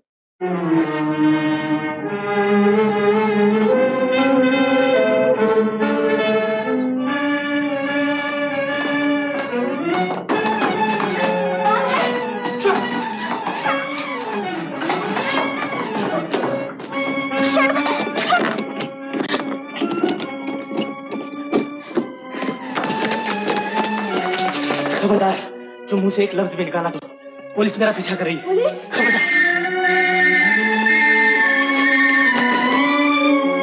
दरवाज़ा खोलो। दरवाज़ा खोलो। ठहरिए ठहरिए। इंस्पेक्टर साहब हम्म। आइए आइए। क्या अभी अभी यहाँ एक नौजवान भागता हुआ आया है? इंस्पेक्टर साहब इधर तो कोई नहीं आया। किसकी तलाश है आपको? एक खूनी की। मेरा ख्याल है वो इधर ही आया है। हो सकता है आपने उसे देखा ना हो। क्या मैं आपके घर की तलाशी ले सकता हूँ? इंस्पेक्टर साहब आधे घंटे से तो मैं यही हूँ। आपके सिवा यहाँ कोई नहीं आया उस आदमी का हुलिया क्या था? बोलिया दानेदार कोट और खाकी हाफ़ पैंट पहने हुए था। खाकी हाफ़ पैंट हाँ काफ़ी फुर्तीला नौजवान है। ओह खाकी हाफ़ पैंट हो सकता है वो आदमी उस रास्ते पर गया हो। क्या?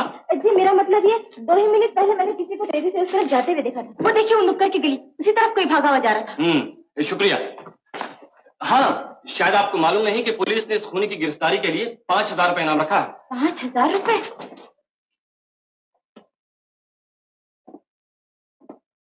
मैं पूछ सकता हूँ कि ये खूनी को आपने पुलिस के पंजे से क्यों बचाया? अजनबी होते हुए भी अपने घर में मुझे क्यों पना दी?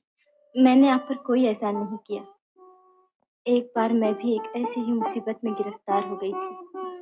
और आप जैसे एक बड़े आदमी ने अपनी इज़्ज़त की परवाह न करते हुए मुझे सहारा दिया था।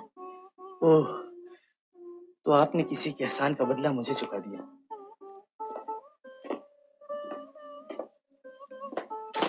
नहीं नहीं इधर बैठिए। शुक्रिया।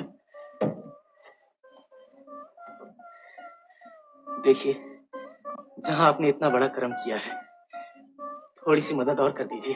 कहिए। मैं भागते भागते बहुत थक गया हूँ। सिर्फ़ एक रात मुझे आराम से रहने की इजाज़त दे दीजिए। सिर्फ़ एक ही रात क्यों? जब तक जी चाहे यहाँ आराम से रहिए। ये आप ही का घर है। आइए मेरे साथ। आइए। आइए ना। सुबह मुलाकात होगी।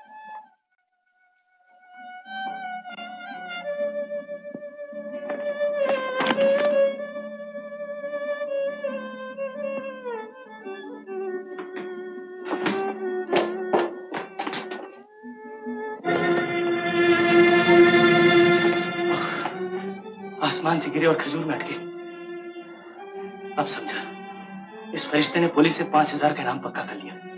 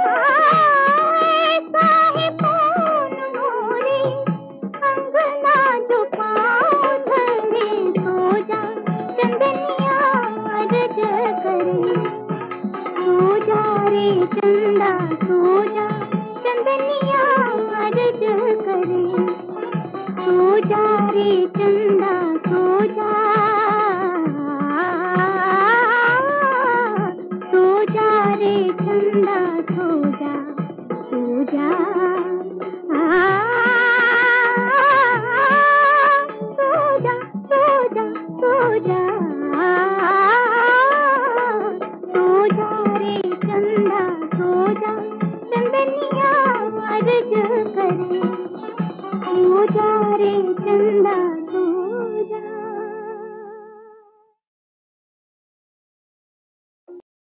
मुन्नी।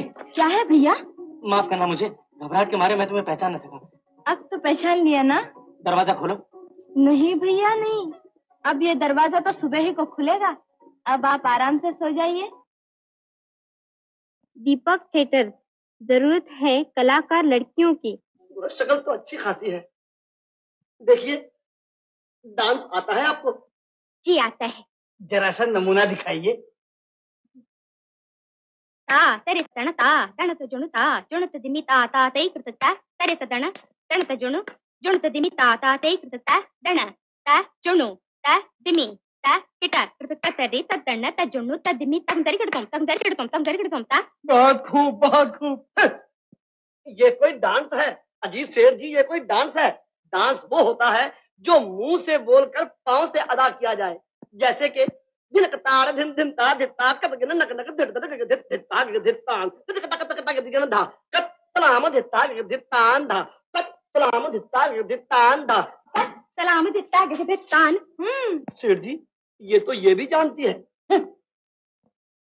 आप गाना वाना भी जानती है? जी गाना तो बहुत अच्छी तरह जानती हूँ।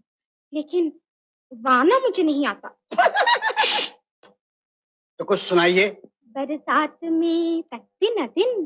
बरसात में हमसे मिले तुम सजन तुमसे मिले हम बरसात में। दिन दिन।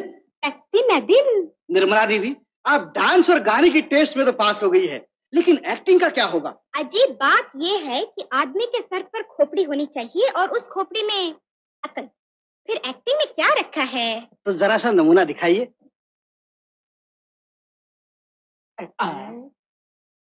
सेठ जी ये तो आवारा है। जमादार साहब ये रोटी है? ये रोटी है ना जुल्मी बड़ी बेवफा है। इसने हमको बहुत चक्कर दिया जमादार साहब।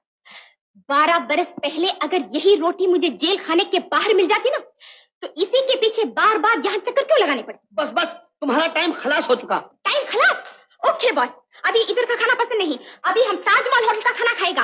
यस बॉस आवारा हूँ पी पी पी पी। इससे कहो कोई जनाना नमूना पेश करे। इसका मतलब मतलब वैजंती माला। वैजंती माला। वैजयंती माला? जरा मुश्किल है। यस बॉस यस बॉस मन डोले मेरा तन डोले मेरे दिल का गया करार रे कौन बजाए बांसुरिया मन डोले मेरा तन डोले मेरे दिल का गया करार रे कौन बजाए बांसुरिया रे रे रे रे रे रे रे रे रे रे रे रे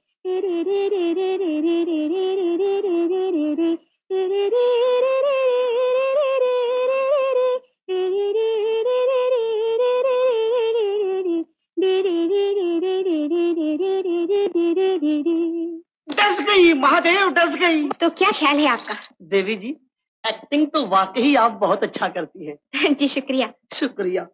देवी जी एक बात कहूँ बुरा ना मानना। हमारे मुंशी जी जरा बूढ़े हैं। उन्होंने अपनी ही उम्र की हीरोइन का पार्ट लिख मारा है। और आप आप तो माशाल्लाह माशाल्लाह जवान है। कमाल है। पहले तो तारीफों के पुल बाँध डाले और बाद में अंगूठा दिखा दिया। भगवान आपके बूढ़े मुंशी का और बूढ़ी हीरोइन का भला करे। नमस्ते। और कोई उम्मीदवार है? जी बस अब तो ले दे के दो बूढ़ी औरतें ही रह गई। अच्छा तो उन दोनों में जो ज़्यादा बूढ़ी हो पहले उसी को अंदर भेज दो। ठीक है ना सेठ जी? बिल्कुल। शुक्रिया।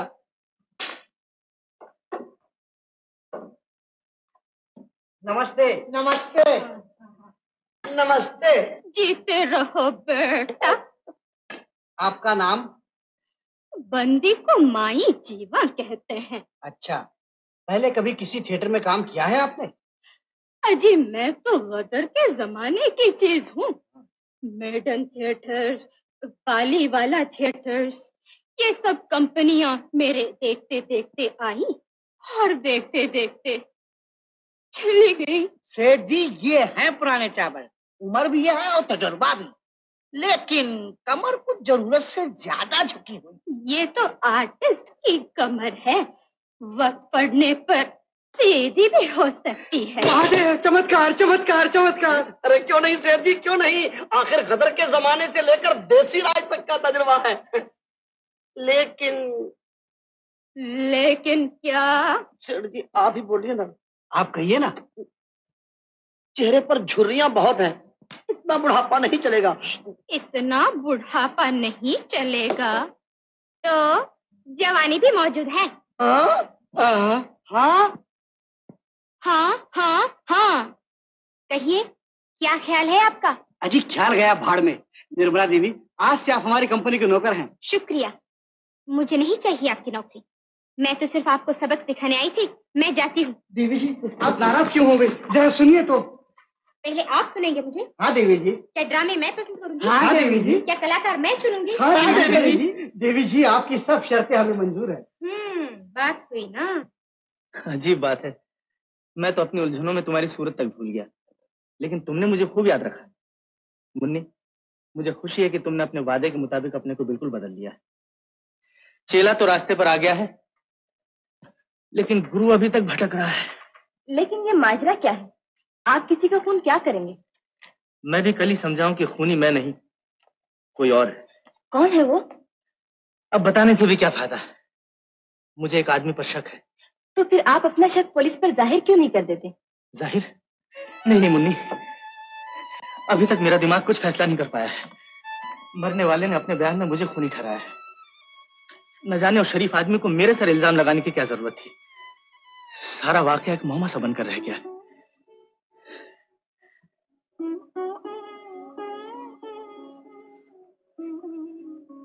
जब तक असली राज का पता न चले, मैं खूने का नाम नहीं लेना चाहता। मैं उस वक्त तक खामोश रहना चाहता हूँ जब तक ये मामला खुद ब खुद न सुलझ जाए। जैसा आप मुनासिब समझे वैसा ही करें। घबराने की कोई ज़रूरत नहीं। घर मौजूद है ये बहन हाजिर है और बहन के पास जो कुछ भी है वो आपका है। मुन्नी मेरी बहन। निर्मला। मुन्नी मैं ये ड्रामा देखूँगा। कैसे दीवानों से बातें कर रहे हो भैया? शहर भर में पुलिस आपकी तलाश कर रही है और आप ड्रामा देखने जाएँगे। कुछ भी हो मैं ये ड्रामा ज़रूर देखूँगा। निर्मला इसमें काम कर रही है। निर्मला? कौन है ये? अरे निर्मला निर, निर... हम्म मैं सब समझ गई। क्या? क्यों है ना यही बात? हट क्या बात कर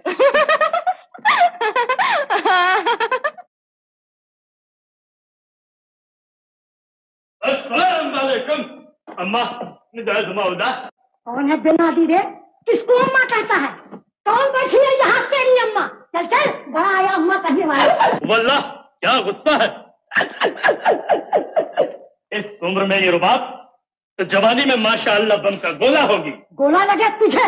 जहन्नुम रसीद हो तू? बता यहाँ क्या लेने आया है? हम फर्जिस्तान से अपनी बुलबुल की तलाश में आए किधर है हमारा मुन्नी हमारे गुलजार का रौनक। मुन्नी की तलाश में आए हो? खुशामदी खुशामदी यही रहती है मुन्नी। हाँ हाँ हाँ हाँ हमारा गुमशुदा माशुक हमें मिल गया। अबा की कसम आज हम ज़मीन पर नहीं जन्नत में है जन्नत में है। लेकिन हुजूर अनवर आपने अपना आता पता तो बताया ही नहीं। क्या इसमें शरीफ है आपका? कुतुबुद्दीन आफ्ताबुद्दीन मोहम्मद बिन कासिम खाजा अब्दुल रहमान। एक महीने से हम हिंदुस्तान की खाक छानता फिरता। किस लिए? अपने मुन्नी के दीदार के लिए। शैतान की तरह इधर से उधर मारा मारा फिरता है। किस लिए अपने गुले गुलजार के लिए आए? किधर गई अम्मा? हमें दीवाने कुत्ते ने नहीं काटा सिर्फ़ मुन्नी की मोहब्बत ने मुन्नी की मोहब्बत ने हमारे दिल को पारा पारा बेगम पारा कर दिया। सच क्या जाऊँ वल्ला वो दिन नहीं भूलता जब होटल में उस चंदे आफ्ताब चंदे मेहताब चंदे चंदा भाई कमर परिवश को जुल बर्दोश देखा। वो दिन और आज का दिन हम उसी के नाम का तड़ी घुमाता है। कहाँ है? किधर है? किधर है हमारी लैला? सरकार खबर कीजिए तो शेर तो रखिए उठिए। मुन्नी बेटी मुन्नी। क्या है माँ? माँ ये कौन है? हम कौन है? हमारा तकदीर हमारा बुलबुल हमारा माशूक हमारा नान कताई हम कौन है? अम्मा ये चिड़ियाघर कहाँ से ले आई हो? अम्मा हमको चिड़ियाघर बोलता है। होश में आओ मुन्नी होश में। ये अरब के बहुत बड़े सौदागर हैं। तुम्हारी मोहब्बत का दम भरते हैं। पहले तुम्हें होटल में देख चुके हैं। हज़ारों मील का सफ़र तय करके तुम्हारी तलाश में आए हैं। जरा अदब आदाब से काम लो बेटी। तशरीफ़ रखने को तो कहो। वल्लाह क्या जटियल बात कही है।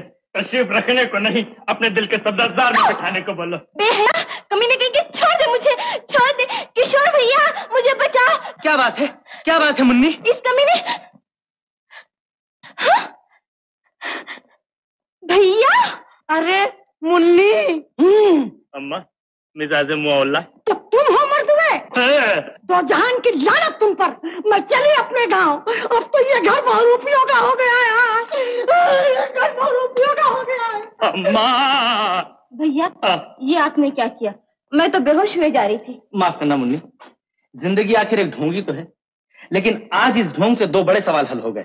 कौन से भैया? एक तो तुम्हारी पारसाई की मोहर हमेशा के लिए मेरे दिल पर लग गई। जब एक अजनबी ने तुम्हारे जिस्म को छुआ उस वक्त जो घबराहट मैंने तुम्हारे चेहरे पर देखी वो ऐसी सूरत में मुश्किल से किसी खानदानी लड़की के चेहरे पर मिलेगी। तुम वाकई बदल चुकी हो। हम्म तो मेरा इम्तिहान लेने के लिए ये तकलीफ़ की आपने। इसके अलावा एक दूसरा मकसद भी है। मैं जानना चाहता था कि मुझे इस लिबास में कोई पहचान तो नहीं लेगा? अरे भैया जब मैंने ही नहीं पहचाना तो कोई आपको क्या पहचानेगा? मुन्नी मैं अब्दुल रहमान अरबी के नाम से स्टेज पर एक ड्रामा खेलना चाहता हूँ जिसका नाम आशा है। आशा बहुत प्यारा नाम है। लेकिन उसके लिए मुझे तुम्हारी मदद की ज़रूरत है। लेकिन खुदा न खास्ता भैया आपको किसी ने पहचान लिया तो? बड़ी भोली हो तुम। कोई ये सोच भी नहीं सकता कि खूनी जिसकी तलाश में पुलिस दिन रात परेशान है इस स्टेज पर ड्रामा खेलेगा। और फिर निर्मला से मुलाकात की यही तो एक सूरत है। थोड़ा बहुत खतरा ज़रूर है लेकिन इसके अलावा और कोई चारा भी तो नहीं। जैसे आपकी मर्ज़ी। शायद इसी बहाने असली खूनी से भी मुलाकात हो जाए। शुक्र है भगवान का कि आग शोलों से तुम सलामत बचकर आ गए मुझे भी यही हैरानी है कि मैं किस तरह बच निकली कुछ याद भी तो नहीं आता कैसे आग लगी, किसने मुझे बचाया। लेकिन इतना याद पड़ता है कि बेहोशी में किसी की मधुर आवाज़ मुझे सहारा दे रही थी। कोई प्यार मुझे सलामती की तरफ़ ले जा रहा था। लेकिन जब होश आया तो वहाँ कोई न था। बिल्कुल खास सी बात है।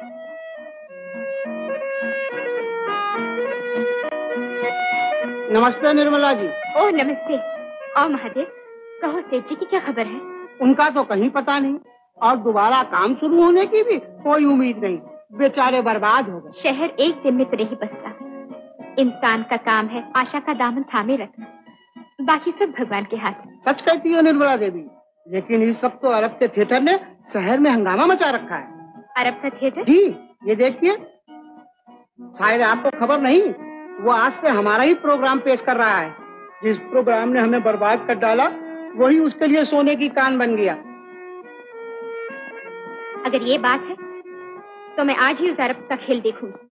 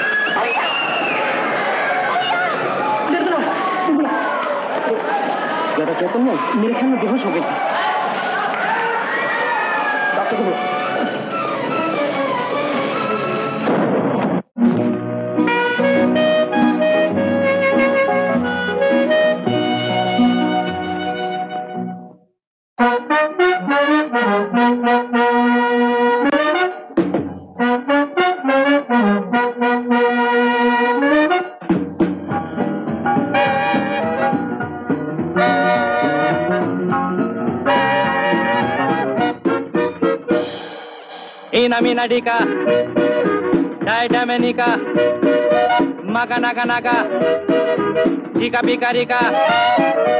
Ina mina rika dika de dai damenika, maga naga maga naga, chika pika rola rika, ram pam poch, ram pam poch.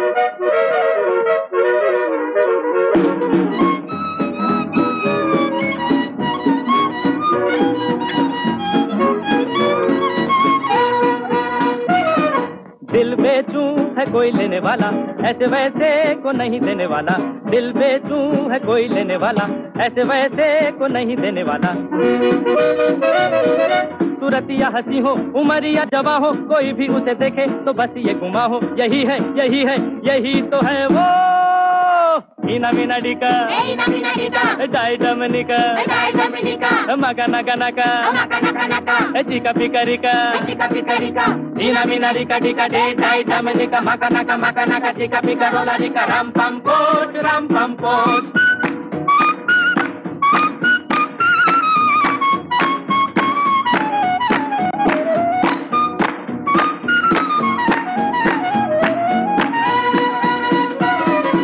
मत सोचो कि सस्ता है सौदा। फल पाए लगाएगा जो पौधा। मत सोचो कि सस्ता है सौदा। फल पाए लगाएगा जो पौधा। दिल की ये क्यारी बनेगी फुलवारी। ये दुनिया जलेगी, जलन की हमारी। हंसेगी हंसेगी हंसेगी मेरी प्यारी। इना टीका पिकारिका इनामी मीना डिका डमनिका। डाई डमनिका। मका नका नका। माका नाका नाका। चिका पिका राम चिका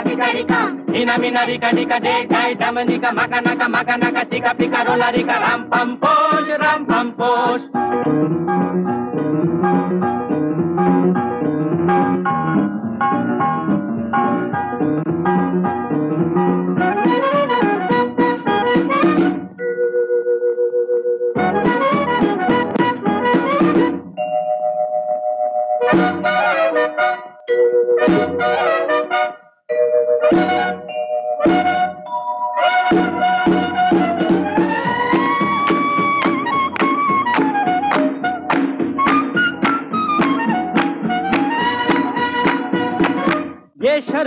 तो बड़ी है ज़रूरी जो कोई करेगा इन्हें पूरी मैं खुशी खुशी उसे ये दिल दे दूँगा कसम खा रहा हूँ कि दाम भी न लूँगा। मगर ये कहूँगा मगर ये कहूँगा क्या? यही है यही है यही तो है वो। मीना मीना डिका ईना मीना डिका डाई डमनिका डाई डमनिका मका नका नका। माका नाका नाका। चिका पिका रिका चिका पिका रिका मीना मीना रिका डिका डे डाई डमनिका मका नका मका नका चिका पिका रोला रिका राम पम पोश राम पम पोश राम पम पोश राम पम पोश राम पम पोश राम पम पोश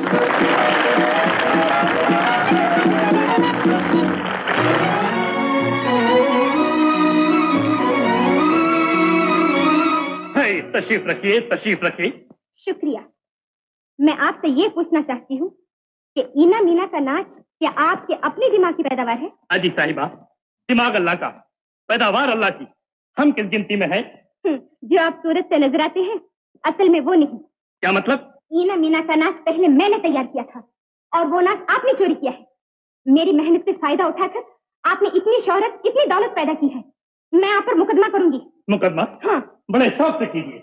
मगर पहले ये तो बताइए कि आप किस मुल्क के वकील हैं? आपका इस मुबारक क्या है? क्यों? आपने निर्मला देवी का नाम नहीं सुना? निर्मला देवी? हाँ। दीपक थिएटर का हीरोइन? हाँ हाँ। ओहो ये तो मेरी खुशकिस्मती है कि जिसे मैं बुलावा देने वाला था आज वो खुद अपने मुबारक पाव लेकर यहाँ चला आया। मतलब? मतलब ये कि आपका थिएटर बंद हो चुका है। अब आपको मेरे थिएटर में काम करना होगा। अजीब आदमी है आप ही। मैं तो आपसे झगड़ा मोल लेने आई थी। अजी छोड़िए अभी। हम झगड़े वगड़े के सौदागर नहीं। हमारा पहला असूल है खुदा से मोहब्बत खुदा के बनाए हुए बंदों से मोहब्बत। दुश्मनी काम है शैतान का। कहिए हमारी अर्ज़ कबूल हो गई। लेकिन शर्तें क्या है? सबसे पहली और आखिरी शर्त यह है कि जब तक आप मेरी मुलाजमत में होंगी आप किसी भी शख्स से शादी या मोहब्बत नहीं कर सकती। वो क्यों? शादी या मोहब्बत का नौकरी से क्या ताल्लुक? ओए ओए ओए ये बिज़नेस सीक्रेट है। अक्सर ऐसा देखा गया है शादीशुदा हीरोइन काम पर देर से आती है और कभी भूले से जल्दी भी आ जाए। तो दो तीन अदद बच्चे। एक अदद आया एक अदद शोहर वगैरह वगैरह। साथ ले आती। अब आप ही बताइए थिएटर का मालिक हीरोइन की देखभाल करे या हीरोइन के बच्चों की आयाओं की शोहरों की? बड़े दिलचस्प आदमी है आप भी शुक्रिया। कल से आप काम पर आ जाइए। ज़रूर। अच्छा नमस्ते। खुदा हाफिज। गई? एक, दो, तीन, चार। बस, चार सीढ़ियाँ और बाकी। चार हफ़्ते के बाद राज तू राज नहीं रहेगा। बल्कि राजकुमार, जागीरदार ऑफ़ बेलापुर होगा। किशोर दुनिया के सामने कभी ना आ सकेगा। और प्यारे मामू, उसकी जुदाई और दुनिया की बदनामी के गम में घुल घुल कर अपने प्राण त्याग देंगे। एक नया खतरा पैदा हो गया पैदा हुआ है तो मरेगा भी ज़रूर। लेकिन बस। क्या बात? बस। आपने रास्ते के सारे कांटे तो हटा दिए लेकिन कामनी को भूल गए तेरे की। अब तुम मुझे कीड़े मकोड़ों से भी डराने लगे। हीरा कामनी की हस्ती मेरे सामने एक चूंटी के बराबर है। जब चाहूँ उसे कुचल दूँ। नहीं बस। कभी कभी च्यूटी हाथी की दुम से ऐसे चिपक जाती है कि हाथी बेचारा भी कुछ नहीं कर सकता। पागल है। आप नहीं जानते बस अब निर्मला और कामनी एक ही घर में एक साथ रह रही हैं। इसी दिन कामनी ने निर्मला के सामने अगर अपने किशोर का ज़िक्र छेड़ दिया तो बस निर्मला पर सारा राज सायर हो जाएगा। निर्मला बड़ी तर्रार है। वो एकदम समझ जाएगी कि कामनी का किशोर किशोर नहीं बल्कि आप हैं। हीरा किसी हद तक खतरा ज़रूर है। हम्म लेकिन ये दूर हो सकता है अगर निर्मला को अगवा कर लिया जाए। क्या ख्याल बस जब तिड़तिड़ी से काम निकल सकता है तो एटम बम पे हाथ क्यों डाला जाए? क्या मतलब? मकसद तो कामनी और निर्मला को जुदा करना है ना? हम्म। क्यों ना कामनी को अगवा कर लिया जाए? शाबाश! हीरा आज तो सर पर ज़रूर बादाम रोगन की मालिश कर कर आया। जाओ अपना काम शुरू कर दो। माफ़ कीजिए। कौन है आप? घबराइए नहीं। मैं आपके नाम किशोर का संदेशा लेके आया। किशोर? जी ये लीजिए। सचमुच किशोर का है।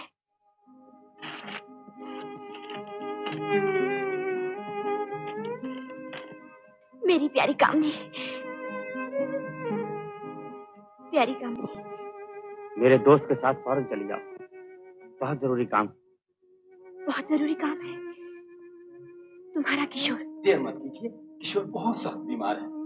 अरे हाँ आपके पिताजी को भी आने के लिए कहा है। पिताजी।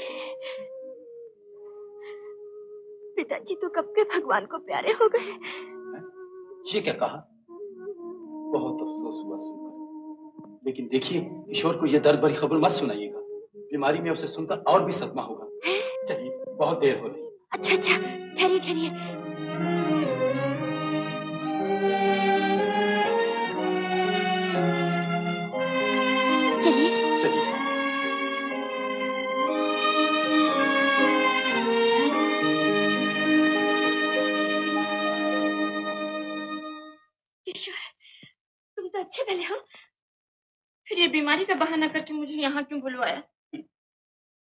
कोई कोई रोग ऐसा भी होता है कामनी जो सूरत पर नज़र नहीं आता। लेकिन इंसान को अंदर ही अंदर खाया जाता है। ऐसी कौन सी बीमारी है तुम्हें? क्या तुम्हारी जुदाई का गम कोई गम नहीं है? कामनी हालात की गर्दिश ने मुझे तुम्हारे घर तक नहीं आने दिया। कहो पिताजी कैसे हैं? पिताजी। खामोश क्यों हो गई? अच्छे तो है ना वो? किशोर पिताजी। बोलो बोलो। उनका तो खून। हाँ, खून।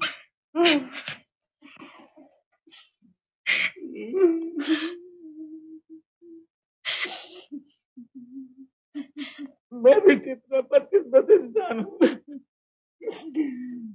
तुम्हारे पिताजी चल बसे। और मैं मुसीबत में तुम्हें जरा सा सहारा भी ना दे सका। मैं पापी हूँ गुनहगार हूँ। बस करो किशोर। मुझे तसल्ली देने के बजाय तुम खुद अपना जी हल्का कर रहे हो? कामनी अब मैं तुम्हें एक पल के लिए भी अपनी आँखों से ओझल नहीं होने दूँगा। आज से तुम मेरे साथ ही रहोगी। मुझे क्या इनकार हो सकता है? बुलबुल की रगों में रगे गुल की फांस है। और लिखने वाले के भेजे में थोड़ा सा गोबर और थोड़ी सी घास है। आदाब खुश आमदेद। आइए निर्मला साहिबा। क्या बात है? आप कुछ परेशान नज़र आती हैं। जी कुछ ऐसी ही बात है। मेरे साथ मेरी एक सहेली कामनी रहती थी। आहा, कल से वो घर से गुम है। गुम है? कैसे गुम हो गई? जी क्या कहा जा सकता है? सिर्फ़ सिर्फ़ ये चिट्ठी घर में पड़ी। हाँ, जिससे ये पता चलता है कि उसे बीमारी के बहाने किशोर ने अपने घर बुलाया किशोर वो खूनी किशोर तो अब उस मरदूद ने ये धंधा भी शुरू कर दिया है। जी कौन जाने? हाँ, मगर आपकी सहेली गई क्यों? हम्म? समझ गया। शायद उन दोनों का आपस में कुछ कुछ क्या। इश्क विश्क का मामला होगा। जी। अ, मेरा मतलब है आप ये चिट्ठी पुलिस के हवाले क्यों नहीं कर देती? पुलिस खुद ही तलाश कर लेगी। जी नहीं। मुझे अभी तक यकीन है कि न किशोर खूनी है और न उसने कामनी को भगाया है। ओए ओए ओए अभी आप बच्ची अकल की कच्ची ऐसा कहाँ का शरीफ ज़्यादा है, कुछ भी हो मुझे उसकी शराफत पर यकीन है। है?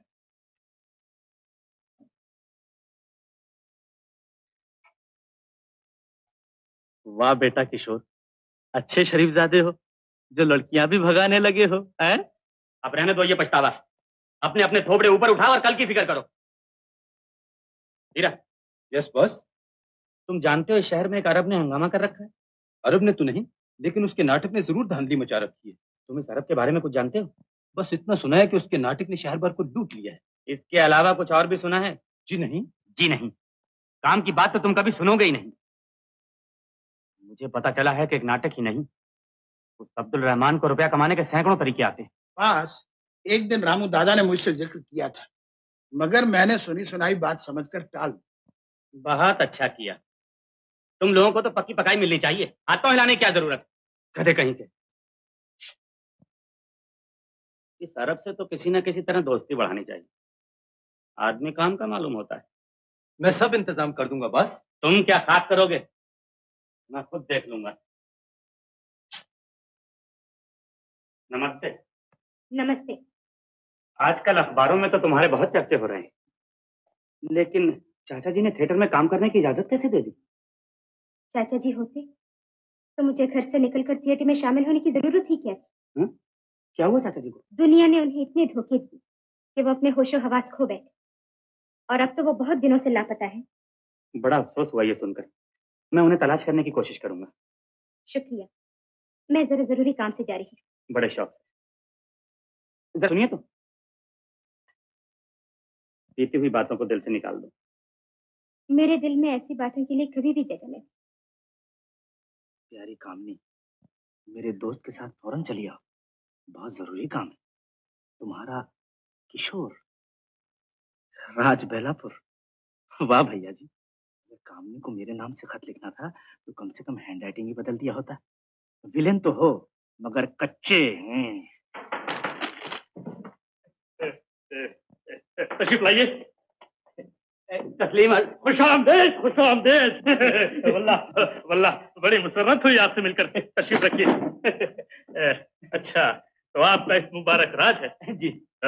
आप बेलापुर जागीरदार के बेटे हैं? जी नहीं मैं उनका भांजा हूँ। शुक्र है अल्लाह का। जो आप जागीरदार के भांजे निकले कहीं आप उनके बेटे होते तो पुलिस को आपकी तलाश होती। कैसी कही? बड़ी जोरदार कही। बुरा न मानिएगा। जो आदमी हमको बहुत पसंद आता है हम उससे ऐसे ही गर्म जोशी से मिलता है। कैसे तशरीफ़ लाए? जी। आपकी शोहरत का चर्चा सुनकर आपके दीदार का शौक पैदा हुआ। इसीलिए हाजिर हो गया। जह किस्मत जह किस्मत। इतना बड़ा आदमी और थिएटर वाले का दीदार करने आए। हजूर आप क्या किसी से कम बड़े? एक मामूली सा थिएटर खोलकर आपने लाखों रुपया पैदा कर लिया है। राज साहब ये सब परवरदिगार का करम है। एक साल बाद देखिएगा। पाँच करोड़ पाँच करोड़ रुपया हमारा अलमारी में होगा। अलमारी में? बैंक में क्यों नहीं? ओए ओए ओए ओए ओए ओए ओए ओए। रहमान साहब ऐसा कोई गुर हमें भी बता दीजिए ना। बताएगा बताएगा ज़रूर बताएगा। लेकिन पहली मुलाकात में नहीं क्यों? जरा और जान पहचान हो ले फिर इंशा अल्लाह लेकिन लेकिन लेकिन आपको भी हमारा एक छोटा सा काम करना होगा। हाँ जी एक क्या दो कहिए ना। आप बैलापुर के जागीरदार के भांजे हैं? जी। यानी खिसौर के भाई? यही तो मेरी बदकिस्मती है। मुझे खिसौर का पता चाहिए। जी। ये आप क्या कह रहे हैं अब्दुल रहमान साहब? किशोर का पता और मुझसे? लेकिन आपको उसके पते की क्या ज़रूरत है? बताता। देखो भाईजान हमारे थिएटर की हीरोइन निर्मला है ना? हाँ। उसकी एक सहेली कामनी वो मरदूत खिसौर उसे भगा कर ले गया। तो आपकी बला से कामनी कौन होती है आपकी? ओए ओए ओए ओए अभी आप बच्चा अकल का कच्चा। जी। कामनी के जाने से निर्मला बहुत परेशान बहुत परेशान है। थिएटर में दिल लगा के काम नहीं करती। वल्ला हमारा बहुत नुकसान होता है। आप घबराते क्यों हैं अब्दुल रहमान साहब? किशोर है खूनी। हाँ पुलिस उसकी तलाश में एक रोज वो ज़रूर पकड़ा जाएगा। वल्ला वो मुबारक दिन कब आएगा? जब मरदूत को फांसी होगी। जी। मेरा मतलब है उस मरदूत को। आइए आइए आइए। इस खुशी में मैं आपको एक पहला कावा पेश करूँ। खालिस अरबी कावा। है सुनिए। फिर किसी रोज आपके कावे का लुत्फ उठाऊँगा। एक बात पूछूँ बुरा तो नहीं मानिएगा? बेशक बेशक। आप अरबी होते हुए इतनी अच्छी हिंदुस्तानी कैसे बोलते हैं? सुबह अल्लाह सुबह अल्लाह। क्या वकीलाना सवाल किया है आपने? दरअसल हमारी वालदा हिंदुस्तानी थी। जी हाँ जी बिल्कुल। अच्छा तो अब्दुल रहमान साहब मुझे इजाज़त दीजिए। फिर कभी हाजिर होंगे खुदा हाफिज। खुदा हाफिज। अब्दुल साहब। मैं जवान ज़रूर था लेकिन पेट का कच्चा नहीं। आप मुझे अपना ही आदमी समझिए। बेशक बेशक। मैं और आप मिलकर बहुत कुछ कर सकते हैं। खुदा हाफिज। खुदा हाफिज।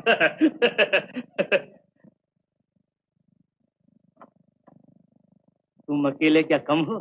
जो मेरी भी ज़रूरत है भैया जी। कौन? कौन है अंदर? बत्ती किसने जलाई? कामनी तुम आ गई?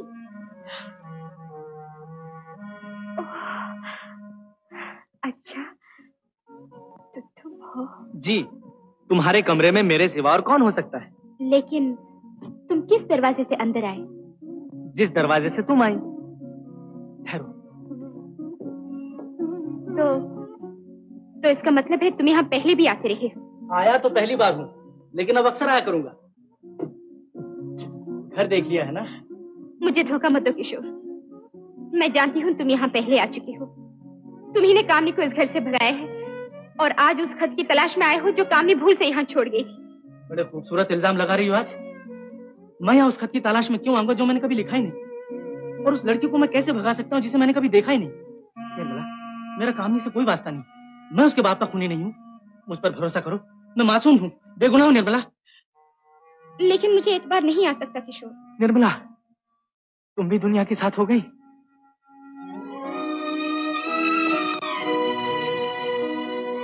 चलो अच्छा हुआ। मैंने कामनी को भगाया है। मैंने उसके बाप का खून किया है। चलो मेरे साथ पुलिस चौकी। मैं वहाँ अपने गुनाह का इकबाल करूँगा और तुम्हें मेरी गिरफ्तारी के लिए इनाम मिल जाएगा। जिन पत्तों पर तकिया था जब वही हवा देने लगे तो फिर इस ज़िंदगी से फांसी का तख्ता ही अच्छा। चलो। किशोर मुझे गलत न समझो। तुम्हारे बारे में तरह तरह की बातें सुनती हूँ। सारी दुनिया तुम्हें खूनी, मुजरिम, धोखेबाज समझती है। ये सुन सुनकर मेरा एतबार भी डगमगा जाता है।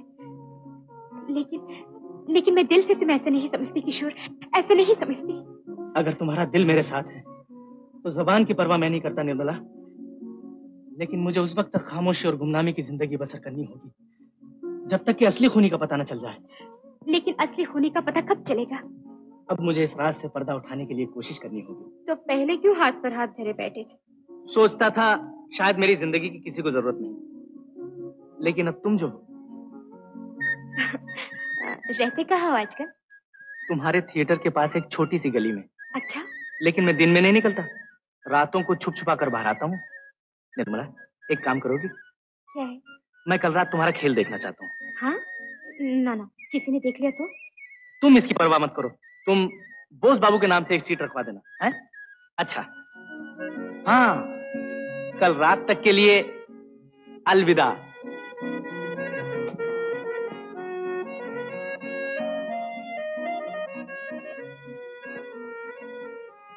बोस बाबू।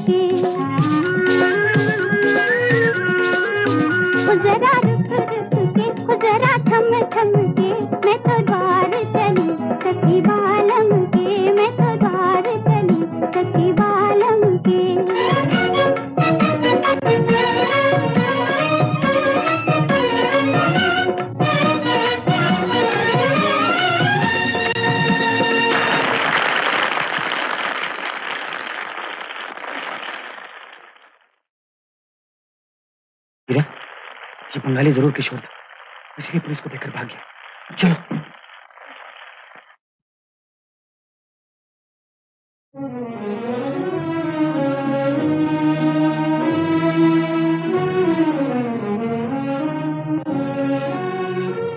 जान बची। बस ये यकायक आपको क्या हो गया है? बिजली का तार छूट गया। शुक्र है कि किशोर पुलिस से नज़र बचाकर भाग गया है। बस अगर वो पकड़ा जाता तो हमारी तमाम परेशानियाँ दूर हो जाती। इडियट अगर किशोर पकड़ा जाता तो मुकदमा कोर्ट में जाता और बहुत मुमकिन था कि रात खुल जाता। आप तो खाम खुआ डरती है। जब तक कामनी हमारे कब्जे में है आपका कोई बाल भी बांका नहीं कर सकता। हीरा क्यों ना किशोर को भी अपने कब्जे में कर लिया जाए? जब तक किशोर आज़ाद है चैन का सांस नहीं ले सकते। जरा आहिस्ता से। दीवारों की भी होती है। आप अरब से मिलिए मैं आपका गाड़ी में इंतज़ार करता हूँ। कामनी हमारे कब्जे जब आज़ाद है चैन का सांस नहीं ले सकते। आखिर मुन्ना क्या है? लेकिन किशोर ने मुझे क्यों नहीं बताया? खैर कोई बात नहीं। मैं राज ही से सब पता चला अच्छा तो उस बिज़नेस के बारे में क्या ख्याल? है कहिए तो आज ही फैसला कर लिया जाए। सुबह अल्लाह सुबह अल्लाह शेर मर्द है आप। ऐसी खतरनाक बात और इस तरह खुल्लम खुल्ला ना बाबा ना। अब्दुल रहमान साहब आखिर बात करने में हर्जी क्या है? ओए ओए ओए ओए ओए। अभी आप बच्चा अकल का कच्चा। अरे बाबा ये थिएटर है थिएटर हम आपके दौलत खाने पर आकर बात करेगा। आपको कोई एतराज़ तो नहीं? शर्मिंदा कर रहे हैं आप। आपकी तशरीफ़ आवरी पर और मुझे एतराज़ वो आए हमारे घर खुदा की कुदरत है। शुक्रिया शुक्रिया। हम सोचा आपका बेगम शायद पर्दा वर्दा करता होगा। अरे साहब यहाँ बेगम ही नहीं तो पर्दा कैसा? जजाकल्ला जजाकल्ला। कवारे हो अभी तक? अम्मा ये उम्र और ये सब्र ऑफरीन ऑफरीन हम कल रात को हाजिर हो जाएगा। जाहे किस्मत। मैं आपका इंतज़ार करूँगा। खुदा हाफिज। खुदा हाफिज। अम्मा सुनिए। एक बात का ख्याल रखना फरमाइए। मैं घास वास नहीं खाता। ओहो। गोश्त खोरूं गोश्त खोर। ज़्यादा तकल्लुफ की ज़रूरत नहीं। बस एक आध दर्जन चूजा दो चार बतख दो तीन दर्जन तीतर बटेर काफ़ी होंगे। अब्दुल रहमान साहब अपने हिंदुस्तानी मेजबान को शर्मिंदा न कीजिए शायद आप नहीं जानते। आपका ये खादम इतनी चीज़ों का तो नाश्ता करता है। खुदा हाफिज खुदा हाफिज। झूठा कहेगा उम्र भर तो मेरे साथ एक थाली में मूंग की दाल खाता रहा और अब मुर्गियों का नाश्ता करता है।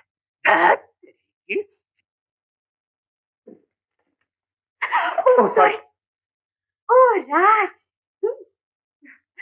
नहीं मिलते तो बस तो नहीं मिलते। और मिलने पर आते हो तो हफ़्ते में दो दो बार। कहो क्या थिएटर देखने आए थे? सिर्फ़ मैं ही नहीं किशोर भी आया था। आया था तो मेरी बला से। हा? तुम्हारी बला से? हाँ क्यों नहीं? अब वो एक कातिल ठहरा। कौन प्यार करेगा उससे क्या कहा? प्यार और किशोर से? हो राज मुझसे आँख चुराने का अच्छा बहाना निकाला तुमने। बहाना? तो क्या मेरे ठुकरा देने पर भी तुम मुझसे प्यार करती हो? मेरे जीते जी ये क्यों पूछते हो? जब तुम्हारी याद में घुल घुल कर मर जाऊँगी तो फिर अपने आप पता चल जाएगा। नहीं नहीं निर्मल। ऐसे अल्फाज अपने जबान से मत निकालो। मैं तुम्हें कुछ और ही समझा था लेकिन अभी भी कुछ नहीं बिगड़ा। मैं अभी तक अकेला हूँ और मुझे तुम जैसे साथी की ज़रूरत है। हो राज जी चाहता है तुम बार बार यही कहते जाओ लेकिन दुनिया सुनकर जल जाएगी। तो मैं तुमसे कब मिल सकती हूँ? कल नहीं नहीं परसों मूनलाइट क्लब में। हम्म तो क्या कल का दिन और तड़पाना चाहती हो? तुम नहीं जानती निर्मल कल मेरे यहाँ कोई खाने पर आ रहा है मैं वायदा कर चुका हूँ। अच्छा तो फिर परसों ही से। निर्मल आज मैं बहुत खुश यहाँ से जा रहा हूँ। और परसों मैं बहुत खुश खुश वहाँ आऊँगी bye Nirmal. Bye bye bye साहब ये आपका दौलत खाना है या बैराम डाकू का घर? ये जगह पसंद नहीं आई आपको? अजय हमें बेहद पसंद है बेहद। हमारे बिज़नेस के लिए इससे अच्छी जगह और कौन सी हो सकती? क्या पुलिस तो पुलिस हमारी आवाज़ खुदा के कान तक भी नहीं पहुँच सकती? कहिए क्या ख्याल है, है? ख्याल आपका बहुत ठीक है। अब्दुल रहमान साहब अब कुछ कारोबार के मामले में बातचीत हो जाए। ओए ओए ओए अभी आप बच्चा अकल का कच्चा जी। राज की बात और इस मरदूत के सामने। वल्ला ये तो सूरत से ही शैतान का बरखुरदार नज़र आता है। अब्दुल रहमान साहब ऐसा तो मत करिए ना। मेरे दोस्त ये मेरा खास एतबार का आदमी है। घबराने की बिल्कुल ज़रूरत नहीं। अच्छा तो आपकी स्कीम क्या है? वल्ला पूछता है स्कीम क्या है? सोने की कान है सोने की। मैं अपनी महबूबा दिलनवाज भाई की कसम खा कर कहता हूँ कि अगले महीने चाँद की पहली तक आपकी अलमारी में दस लाख रुपया होगा। दस लाख? हाँ दस लाख। दस लाख? ओए ओए ओए ओए बड़े छोटे दिल के आदमी मालूम होते हैं आप। दस लाख सुनते ही होश गायब हो गए। अजी हज़रत ये तो कुछ भी नहीं। एक साल बाद एक साल बाद आपका शुमार करोड़पतियों में होगा। ये तो आपकी नवाजिश है अब्दुल रहमान साहब वरना मैं तो आपके पाँव के खाक भी नहीं। बेशक बेशक। लेकिन कारोबार क्या होगा? अरे वही कारोबार।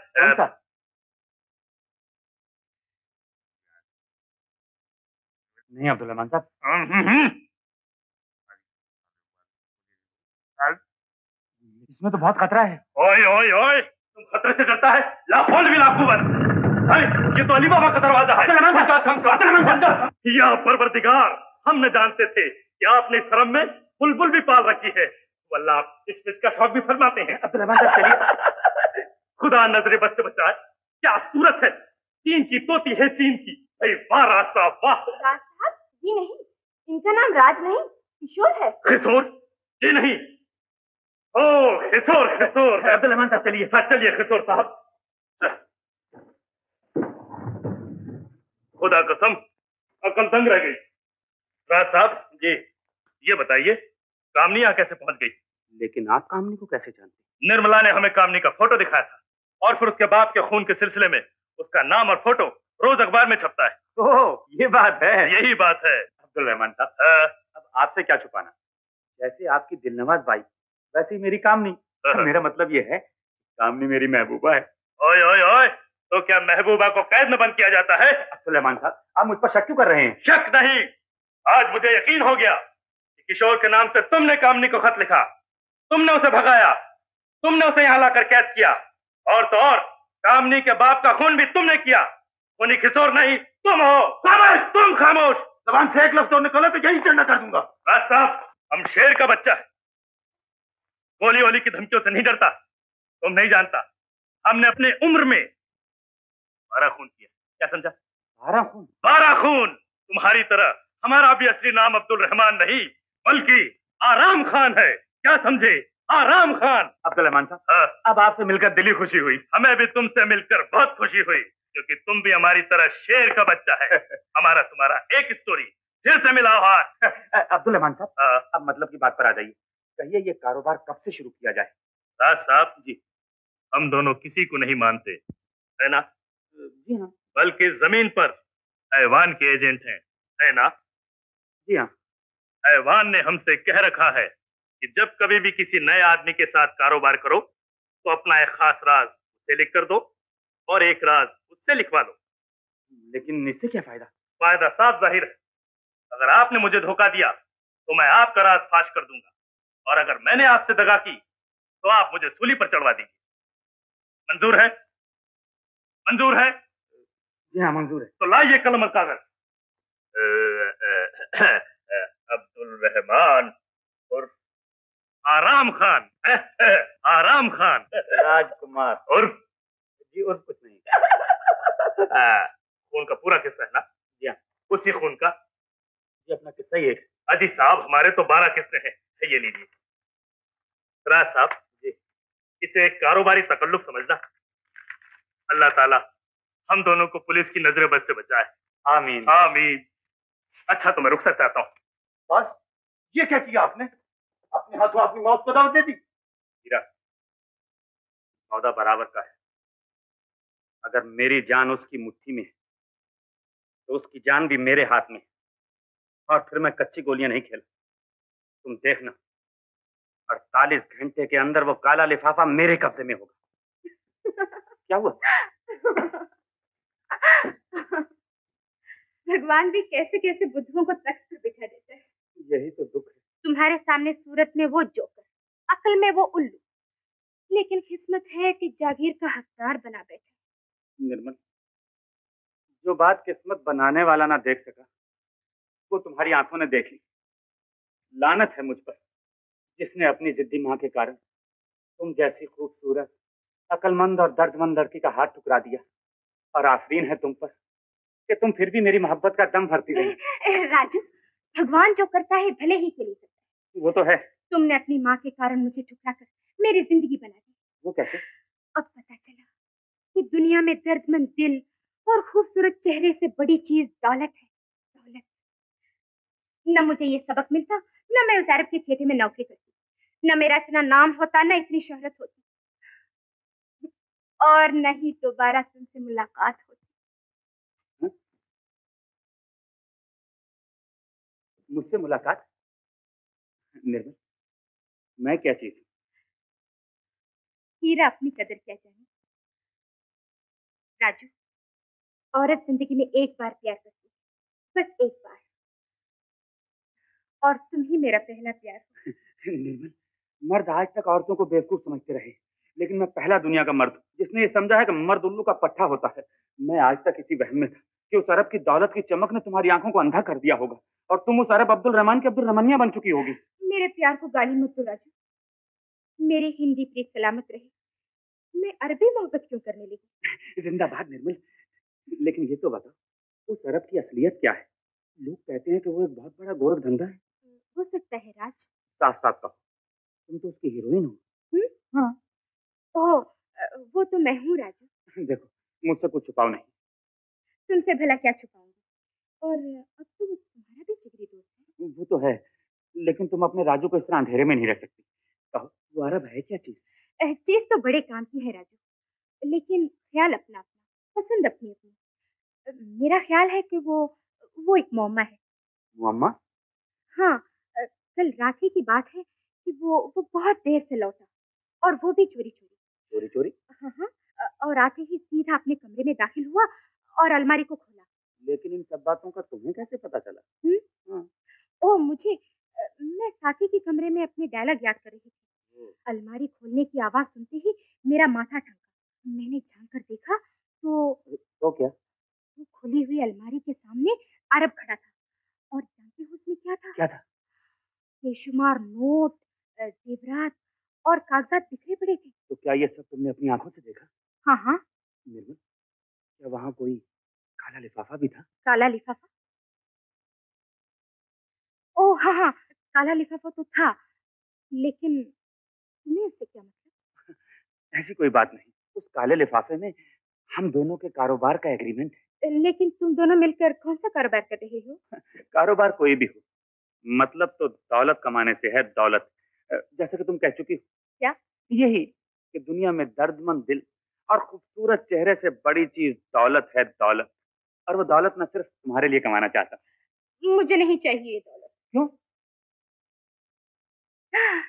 मेरी दौलत तो तुम हो। ओह। अच्छा राजू वक्त बहुत ज़्यादा हो गया। फिर क्या हुआ?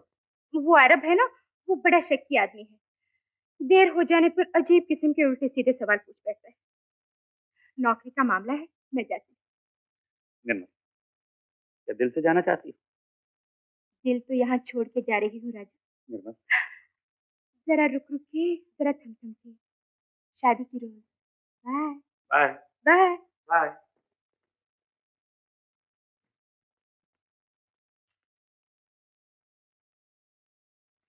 सब पता चल गया। वो काला लिफाफा अरब की अलमारी में और अलमारी उसके कमरे में। कल तक वो लिफाफा मेरे पास होना चाहिए। बॉस लिफाफा तो क्या कल तक अलमारी की अलमारी आपके पास हो हीरा जिंदाबाद। निर्मला जिंदाबाद आओ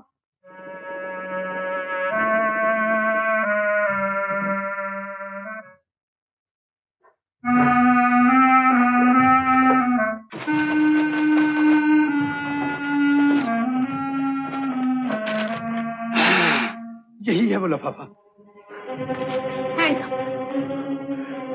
ये लिफाफा मुझे दे दो।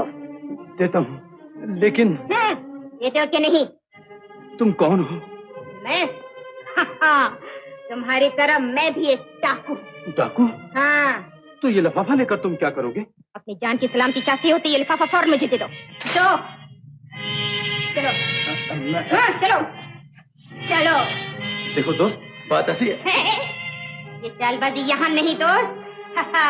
आज मेरा दिन है। समझे? चलो। दोस्त। क्या है? हम एक ही बरादरी के हैं। हाँ हाँ। इतनी खुदगर्दी मत दिखाओ। ये लिफाफा। बस बस करो। चलो गिरो निकल जाओ।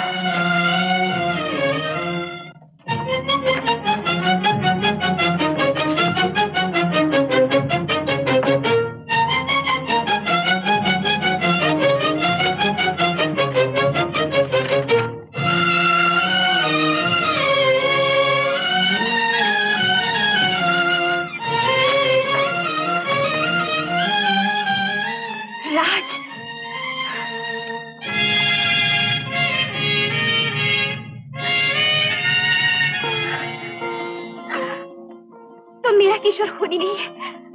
असली खूनी राज है। भगवान, तेरा लाख लाख शुक्र है। मेरा किशोर खूनी नहीं है।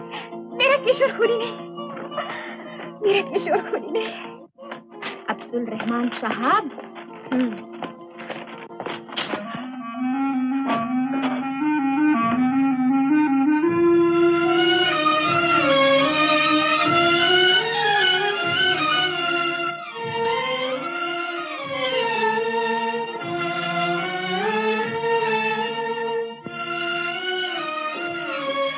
अरे।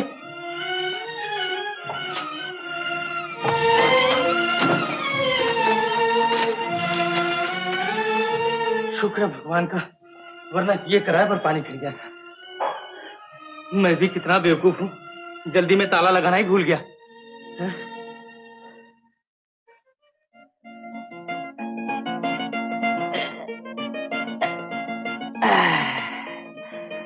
अरे वाह मेरी प्यारी दादी। तू कब तक मेरे मुँह पे चिपकी रहेगी? अच्छा तो मुझे से नाटक खेल रहे थे। किशोर इतने दिनों मेरे पास रहकर भी मुझसे इतनी दूर रहे। हम्म। आ रहा हूँ। आप साहब ए, मेरे तो पाँव तले से ज़मीन निकल गई। ऐसा क्यों? हम समझा कोई पुलिस वोलिस आदम की होगी। अब्दुल रहमान साहब। भाई साहब हम मुसलमान हैं और मुसलमान कभी झूठ नहीं बोलता। हमारे दिल में ये शक पैदा हुआ कि शायद आपने हमारा काला लिफाफा पुलिस के हवाले कर दिया होगा। अब्दुल रहमान साहब हम हिंदू हैं। सच्चाई हिंदू का ओढ़ना और बिछौना होता है। मैं तो यहाँ सिर्फ़ ये देखने आया था कि कहीं आपने मेरा काला लिफाफा पुलिस के हवाले तो नहीं कर दिया। ओए ओए ओए हम क्या शैतान का बच्चा है जो एक दोस्त का राज पुलिस के हवाले कर देगा? अब्दुल रहमान साहब भगवान गवाह है। मैं तो आपको फरिश्ता समझता हूँ। वल्ला बड़े भगवान दास हो तुम भी। अब तशरीफ़ रखो। सुलेमान साहब अपने कारोबार का क्या हुआ? क्या अर्ज़ करूँ भाई साहब? ये जालिम पुलिस वाले भी परले दर्जे के होशियार होते हैं। न जाने मशीन की आमद का इन खुदा के नेक बंदों को कहाँ से पता चल गया? पता चल गया? बाप रे तो मारे गए। अब्दुल रहमान साहब अब क्या होगा? अकल कुछ काम नहीं करती साहब। अलबत्ता एक रास्ता हो सकता है। फरमाइए मशीन की डिलीवरी मुंबई में न ली जाए बल्कि उसे दूर दराज समंदर के किनारे किसी गुमनाम जगह पर उतारा जाए। इसमें क्या मुश्किल आप अपना जहाज़ हमारी जागीर बेलापुर में ले आइए। बेलापुर? जी हाँ। तो क्या वो समंदर के करीब है? हाँ बिल्कुल। और मैं अपने मामा जी से कहकर आपके थिएटर को बेलापुर आने का दावतनामा भी भिजवा दूँगा जिससे किसी को शक भी ना होगा। ओए ओए ओए अब यहाँ बच्चा अकल का कच्चा जरा ये तो सोचिए कि बेलापुर का जागीरदार अपने बेटे के गुम हो जाने के बाद क्या थिएटर वेटर देखेगा? जिस आदमी का इकलौता बेटा खून के सिलसिले में भागा भागा फिरता हो। क्या उसे रंग रलिया मनाते हुए शर्म ना आएगी? रहमान साहब मैंने भी कुछ सोच समझ कर बात की। आप देखेंगे कि मेरे मामा जी की तरफ़ से दावतनामा आएगा।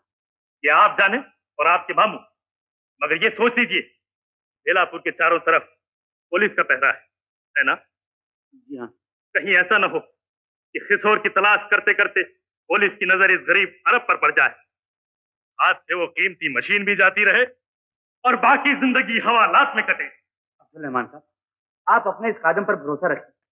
आखिर बंदा किस मर्ज की दवा है? मिस्टर डिसूजा गोल्ड स्मगलर्स का एक बहुत बड़ा गैंग इस शहर में मौजूद है और उस गैंग का लीडर एक खानदानी लड़का है। इज़ इट यस और मुझे खास ज़रिए से ये भी पता चला है कि वो सिर्फ़ सोने की चोरी नहीं बल्कि औरतों की इज़्ज़त पर भी डाका मारता है। मिस्टर डिसूजा मैं काफ़ी दिनों से इस गैंग की तलाश में हूँ। और मुझे उम्मीद है कि मैं ज़रूर कामयाब हूँ wish you best of luck thank you ये है मेरी माता जी अम्मी जान। अब्दुल रहमान। अब्दुल रहमान? मेरे मामा जी। क्या कर रहे हैं आप? क्यों साहब? हमसे कोई गुस्ताखी हो गई। बाकी तो कोई नहीं। लेकिन अब्दुल रहमान साहब आप हमारे मेहमान हैं। आपके पाँव हमको छूने चाहिए। देखा राज साहब, आपके मामू मेरी नस्ल को गाली दे रहे हैं। जागीरदार साहब, आप मेरे दोस्त के मामू हैं। और किसी भी दोस्त के मामू की मेरे दिल में उतनी ही इज़्ज़त होनी चाहिए जितनी की मुझे अपने बाप के लिए हो सकती है। मामा जी, देख, क्या अखलाक है मेरे दोस्त का? हाँ बेशक बेशक। अब्दुल रहमान साहब, आपने एक मुसलमान होकर भी हिंदुओं के रस्मो रिवाज के मुताबिक मेरे पहुँच हुए आज से आप मुझे उतने अज़ीज़ हैं जितना कि मुझे अपना बेटा किशोर। दुर्गा बहन देखा देखा दुर्गा बहन दुनिया में इंसानियत है अभी। बेटा राज जी। अपने मेहमान के खाने पीने का इंतज़ाम करो। हाँ मम्मी। बच्चे के बगैर त्योहार तो क्या बेटा? खाना पीना हराम हो गया है। तो बेटा राज ने जिद की ये दशहरे का त्योहार ज़रूर मनाया जाए। क्योंकि ये त्योहार किशोर को बहुत पसंद था। और फिर कौन जाने? ये दशहरे का त्योहार हमें हमारे बच्चे से मिला दे। अब्बा जान, क्या वाकई आपका बेटा किशोर बेगुनाह है? क्या कहूँ तुमसे बेटा? काश तुम मेरे बच्चे से वाकिफ हो और ये जानते कि एक अमीर का बेटा भी गरीबों का हमदर्द हो सकता है। अमीरी में फकीरी अगर किसी ने की है तो मेरे बच्चे ने की तुम ही कहो कि ऐसा नेक दिल बच्चा किसी का क्या खून करेगा? अम्मी जान, क्या आपका भी ऐसा ही ख्याल है? बेटा, तुम मेरे भतीजे को नहीं जानते। लाखों में एक है, लाखों में। राज मेरी अपनी औलाद लेकिन मैं तुमसे कहती हूँ, मेरा भतीजा मुझे मिल जाए तो मैं उसके लिए अपनी औलाद भी कुर्बान कर सकती अम्मी जान माँ बाप का औलाद बहुत प्यारी होती है। बेटा बुरा हो या भला, आखिर दिल की ठंडक होता है। सच कहते हो, मेरा बच्चा सिर्फ़ मेरी आँखों का नूर नहीं। जुदाई में यहाँ का हर बच्चा बुरा तड़प रहा। सुना? ये वही गाना है, जिसे मेरा शोर बच्चों से मिलकर गाया करता था।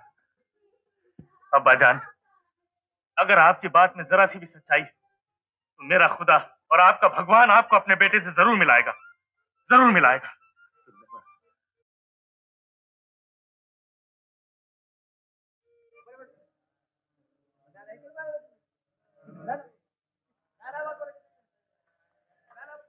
नमस्ते। नमस्ते। नमस्ते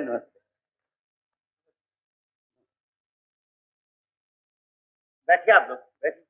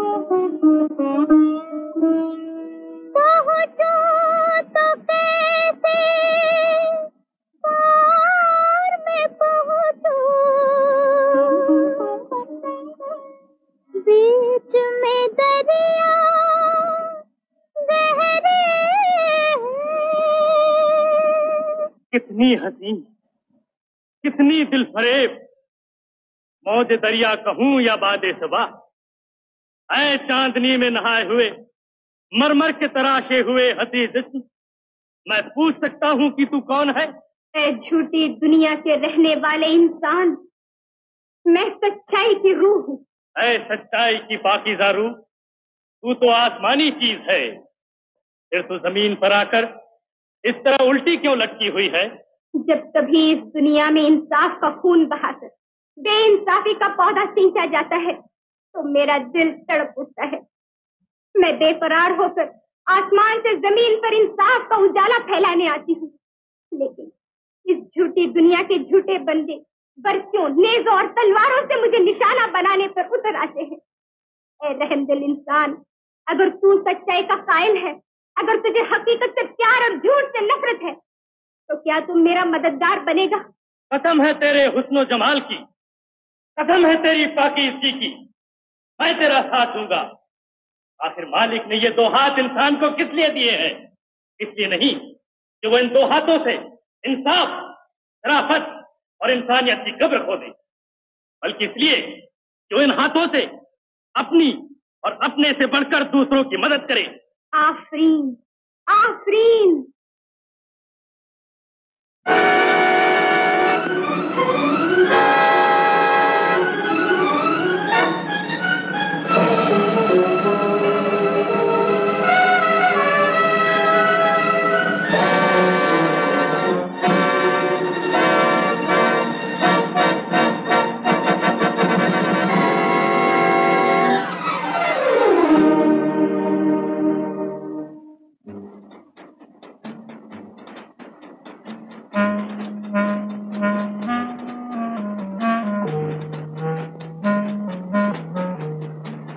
हाल तुझे अपनी दुनिया का नज़र तो आता होगा, नज़र तो आता होगा। मालिक तू भी इसको बनाकर अब पछताता होगा, अब पछताता होगा।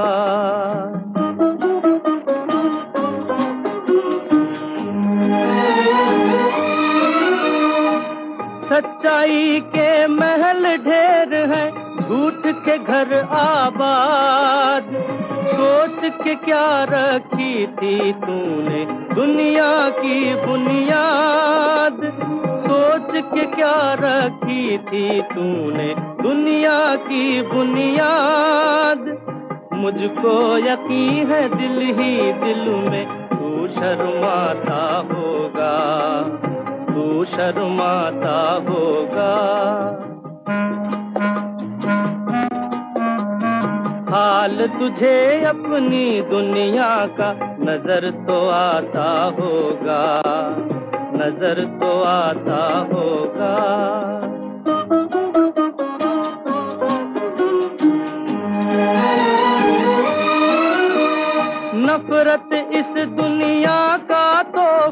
उल्फत एक इल्ज़ाम। झूठ यहाँ की सुबह हकीकत, इस दुनिया की शाम।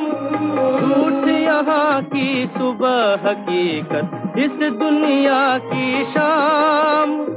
बोल तुझे क्या अपने किए पर, फ़ैशन आता होगा, फ़ैशन आता होगा। हाल तुझे अपनी दुनिया का नज़र तो आता होगा नज़र तो आता होगा।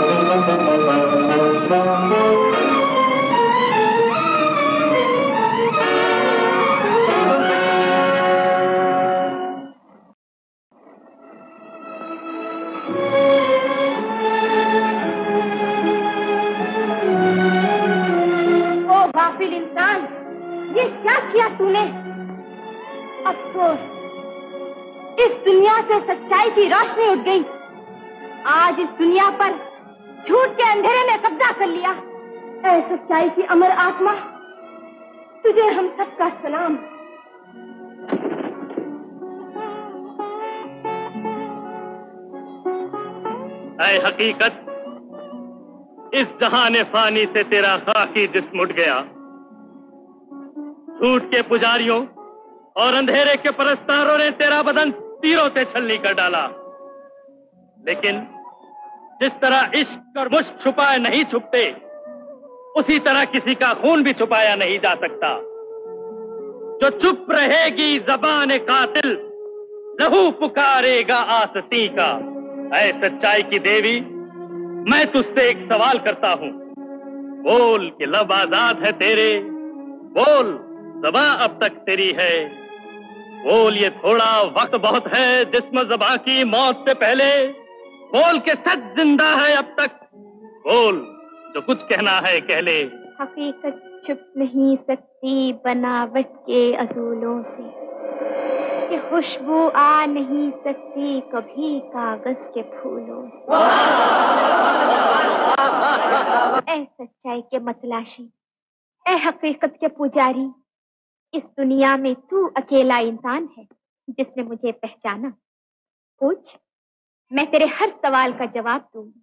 ऐ मुकद्दस रूह, मैं जानता हूँ, जैसे हवा को कोई इंसान छू नहीं सकता। चाँद सूरज की रोशनी को अपने कब्जे में नहीं कर सकता। पर्वत से फूटते हुए झरनों के संगीत को रोक नहीं सकता। उसी तरह कोई तेरा खून नहीं कर सकता। ऐ मुकद्दस रूह, मुझे सिर्फ़ इतना बता, तू इस दुनिया में किसका रूप बदल कर आई थी? किस मिट्टी के पुतले में तूने बसेरा किया था? वो जिसम जिसकी तू आत्मा थी, उसका नाम क्या था? खुदा के नेक बंदे मैं खुश हूँ कि इस दुनिया में एक ऐसा इंसान है जो अंधेरे से पर्दा उठाना चाहता है जो अपनी जान पर सदमे सहकर खुदा की मखलूक भगवान के बंदों की भलाई चाहता है।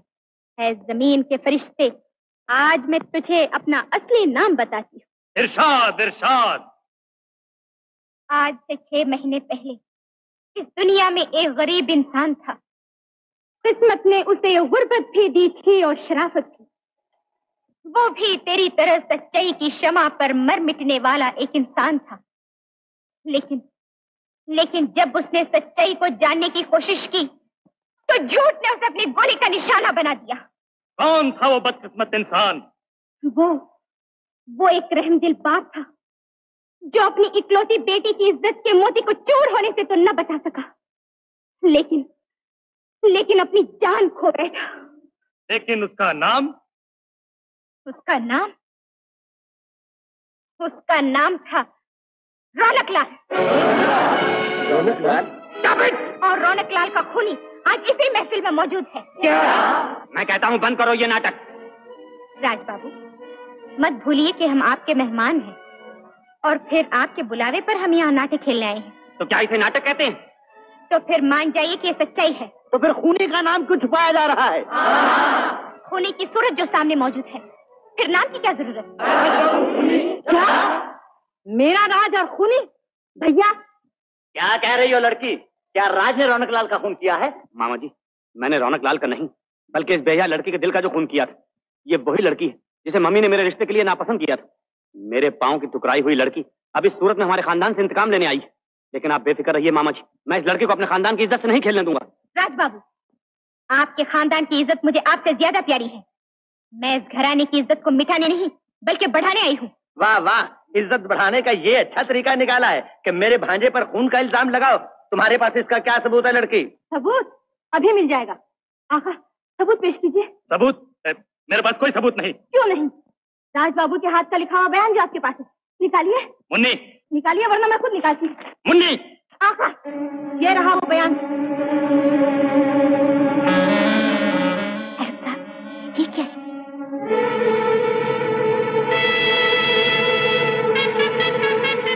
भैया क्या लिखा है इसमें? घबराओ नहीं बहन ये तो बिल्कुल कोरा कागज़ है। कोरा कागज़ भैया। ए लड़के तुम्हारी ये मजाल के एक शरीफ घराने के लड़के पर कीचड़ उछालो मामा जी चाँद पर थूकने से अपना ही दामन गंदा होता है।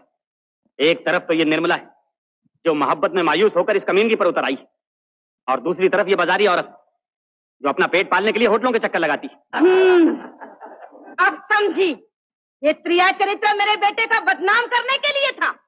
आपने सिर्फ़ तेरे चरित्र का लफ्ज सुना है लेकिन कभी देखा नहीं। अब देखिए ये है वो असली बयान। भैया देखो तो इसमें क्या लिखा है। बहन ये तो राज के हाथ का लिखा हुआ बयान है। क्या लिखा है? जिसमें राज ने यह कबूल किया है कि रौनक लाल का खूनी किशोर नहीं बल्कि खुद राज है। राज? जरा सोचिए तो। कोई खूनी अपने हाथों से ऐसा बयान लिखकर दे सकता है? लेकिन राज बेटा कागज़ तो तुम्हारे ही हाथ का लिखा हुआ है। वही दस्तखत वही तहरीर। आखिर ये माजरा क्या है? मामा जी माजरा क्या खाक होगा? अगर मैंने रौनक लाल का खून किया होता तो क्या मैं फांसी के तख्ते पर चढ़ने के लिए इस नाटक मंडली को यहाँ बुलाता? काश काश आज मेरा भैया किशोर यहाँ होता तो आप सबको बताता कि इन लोगों ने मिलकर मेरे खिलाफ साजिश की है। किशोर किशोर कहीं से आ जाओ और आकर मेरी इज़्ज़त बचा लो।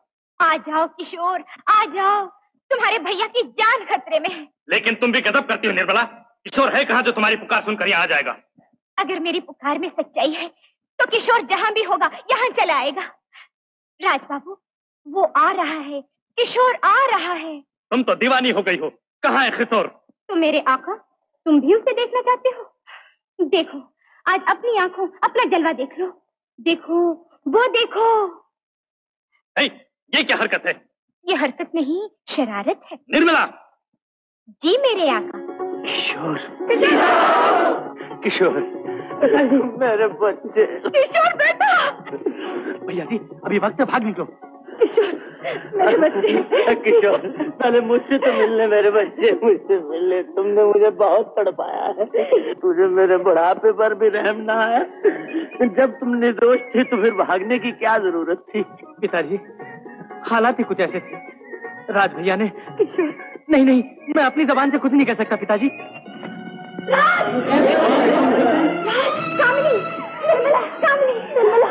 मिस्टर राज बॉम्बे पुलिस ने आपके नाम गैर मुल्कों से गोल्ड स्मगल करने और इन दो आदमियों को ज़बरदस्ती अपनी हिरासत में रखने के जुर्म में गिरफ्तारी का वारंट जारी किया है। वही खड़े रहिए वरना। वरना क्या होगा? वरना मजबूरन मुझे गोली चलानी पड़ेगी। आप चलाइए गोली। राज राज। उस दिलों की तरह निर्मला की आड़ न लो। राजपूत हो तो सामने आ जाओ। तो क्या माँ भी अपने बेटे को मौत के मुँह में धकेलना चाहती है? मिस्टर राज बहुत देर हो चुकी। अपने आप को पुलिस के हवाले कर दो। याद रखिए। मेरी तरफ़ अगर एक कदम भी बढ़ाया तो मैं निर्मला का खात्मा कर दूँगा। उससे पहले तेरे खून से मैं अपने हाथ ना रंग लूँगी। दुनिया ने जहाँ माँ की ममता देखी है वहाँ माँ का सबर भी देख ले। तू भी। मंडप मंडप को चारों तरफ़ से घेर लो। मुजरिम और उसके साथी भागने न पाए। जल्दी जल्दी करो। हेलो इमरजेंसी हाँ police headquarter yes yes yes वाह क्या माँ के दूध का हक अदा किया है तूने? मारना है तो अपने हाथ से गोली चला। वैसे भी मर जाती। तो मेरी चिता को आग तूने ही देनी थी। चला गोली चला। खड़ा मुँह क्या देख रहा है? चला गोली चला। बॉस मौका बड़ा नाजुक है। अगर माँ के आंसुओं को देखा तो अपनी जान को बैठोगे। चुप रहे। कमीने कुत्ते। गुड़िया तेरी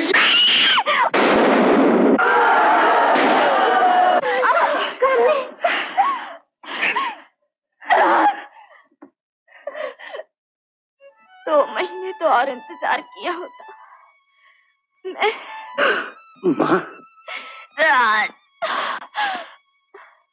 अरे रे हे भगवान मैंने कैसे कपट को जन्म दिया? मेरे खून को गाली दी है। मेरे पुरखों को गाली दी है। मेरे पुरखों को गाली दी है। इंस्पेक्टर साहब इंस्पेक्टर साहब, मैं आपसे सिर्फ़ इतनी प्रार्थना करती हूँ कि जब इस चंडाल को मौत की सजा मिले तो इसके गले में रस्सी डालने का मौका मुझे दीजिए, ताकि दुनिया देखे दुनिया देखे कि एक माँ बुरे बेटे को जन्म दे सकती है तो वो अपने हाथों उसे मौत की नींद भी सुना सकती है, मौत की नींद भी सुना सकती है। भैया जी। किशोर, मुझे भैया कहकर इस पवित्र रिश्ते को गाली न दो। राजू बेटा, मामा जी, माँ, मैं जाने से पहले आपके पाँव ज़रूर छूता, लेकिन खून में रंगे हुए ये नापाक हाथ, मैं आपके पाँव को नहीं लगाना चाहता। कामनी, मैंने तेरे बाप का खून किया, और तूने मेरी माँ को बचाने के लिए अपनी जान की आहुति दे दी। खूबसूरत इंतकाम डॉक्टर साहब। आइए।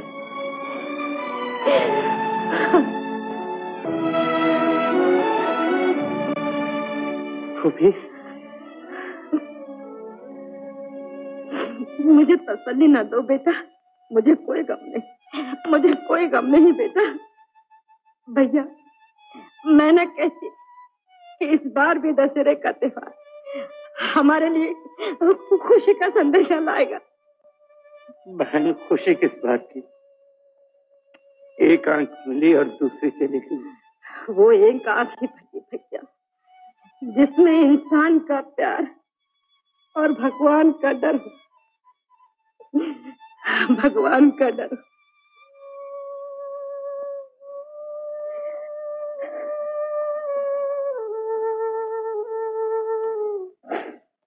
कामनी। कामनी, तेरी आहुति खाली नहीं जाएगी। तेरी समाधि पर मैं इंसानियत का बहुत बड़ा मंदिर बनवाऊँगी।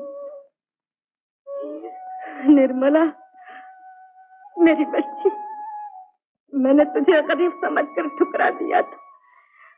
अच्छा किया तूने जो मेरे गरूर की गर्दन तोड़ डाली। इंसान दौलत से नहीं अपने कर्म से बड़ा होता है।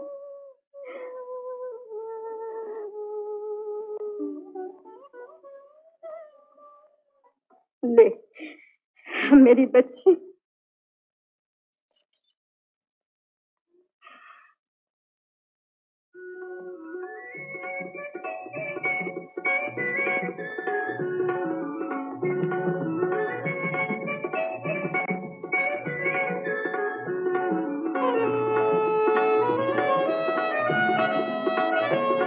निर्मला, आखिर अंधेरे की हार और उजाले की जीत हुई। वो देखो, नई सुबह आशा का पैगाम लेकर आई।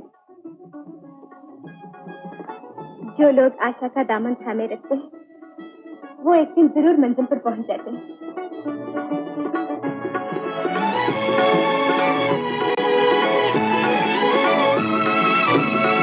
बेलापुर जागीरदार के सुपुत्र कुंवर किशोर कुमार और श्री चमनलाल लखपति की भतीजी कुमारी निर्मला के शुभ विवाह पर अब्दुल रहमान अरबी थिएटर के कलाकारों की तरफ़ से वर वधु का स्वागत।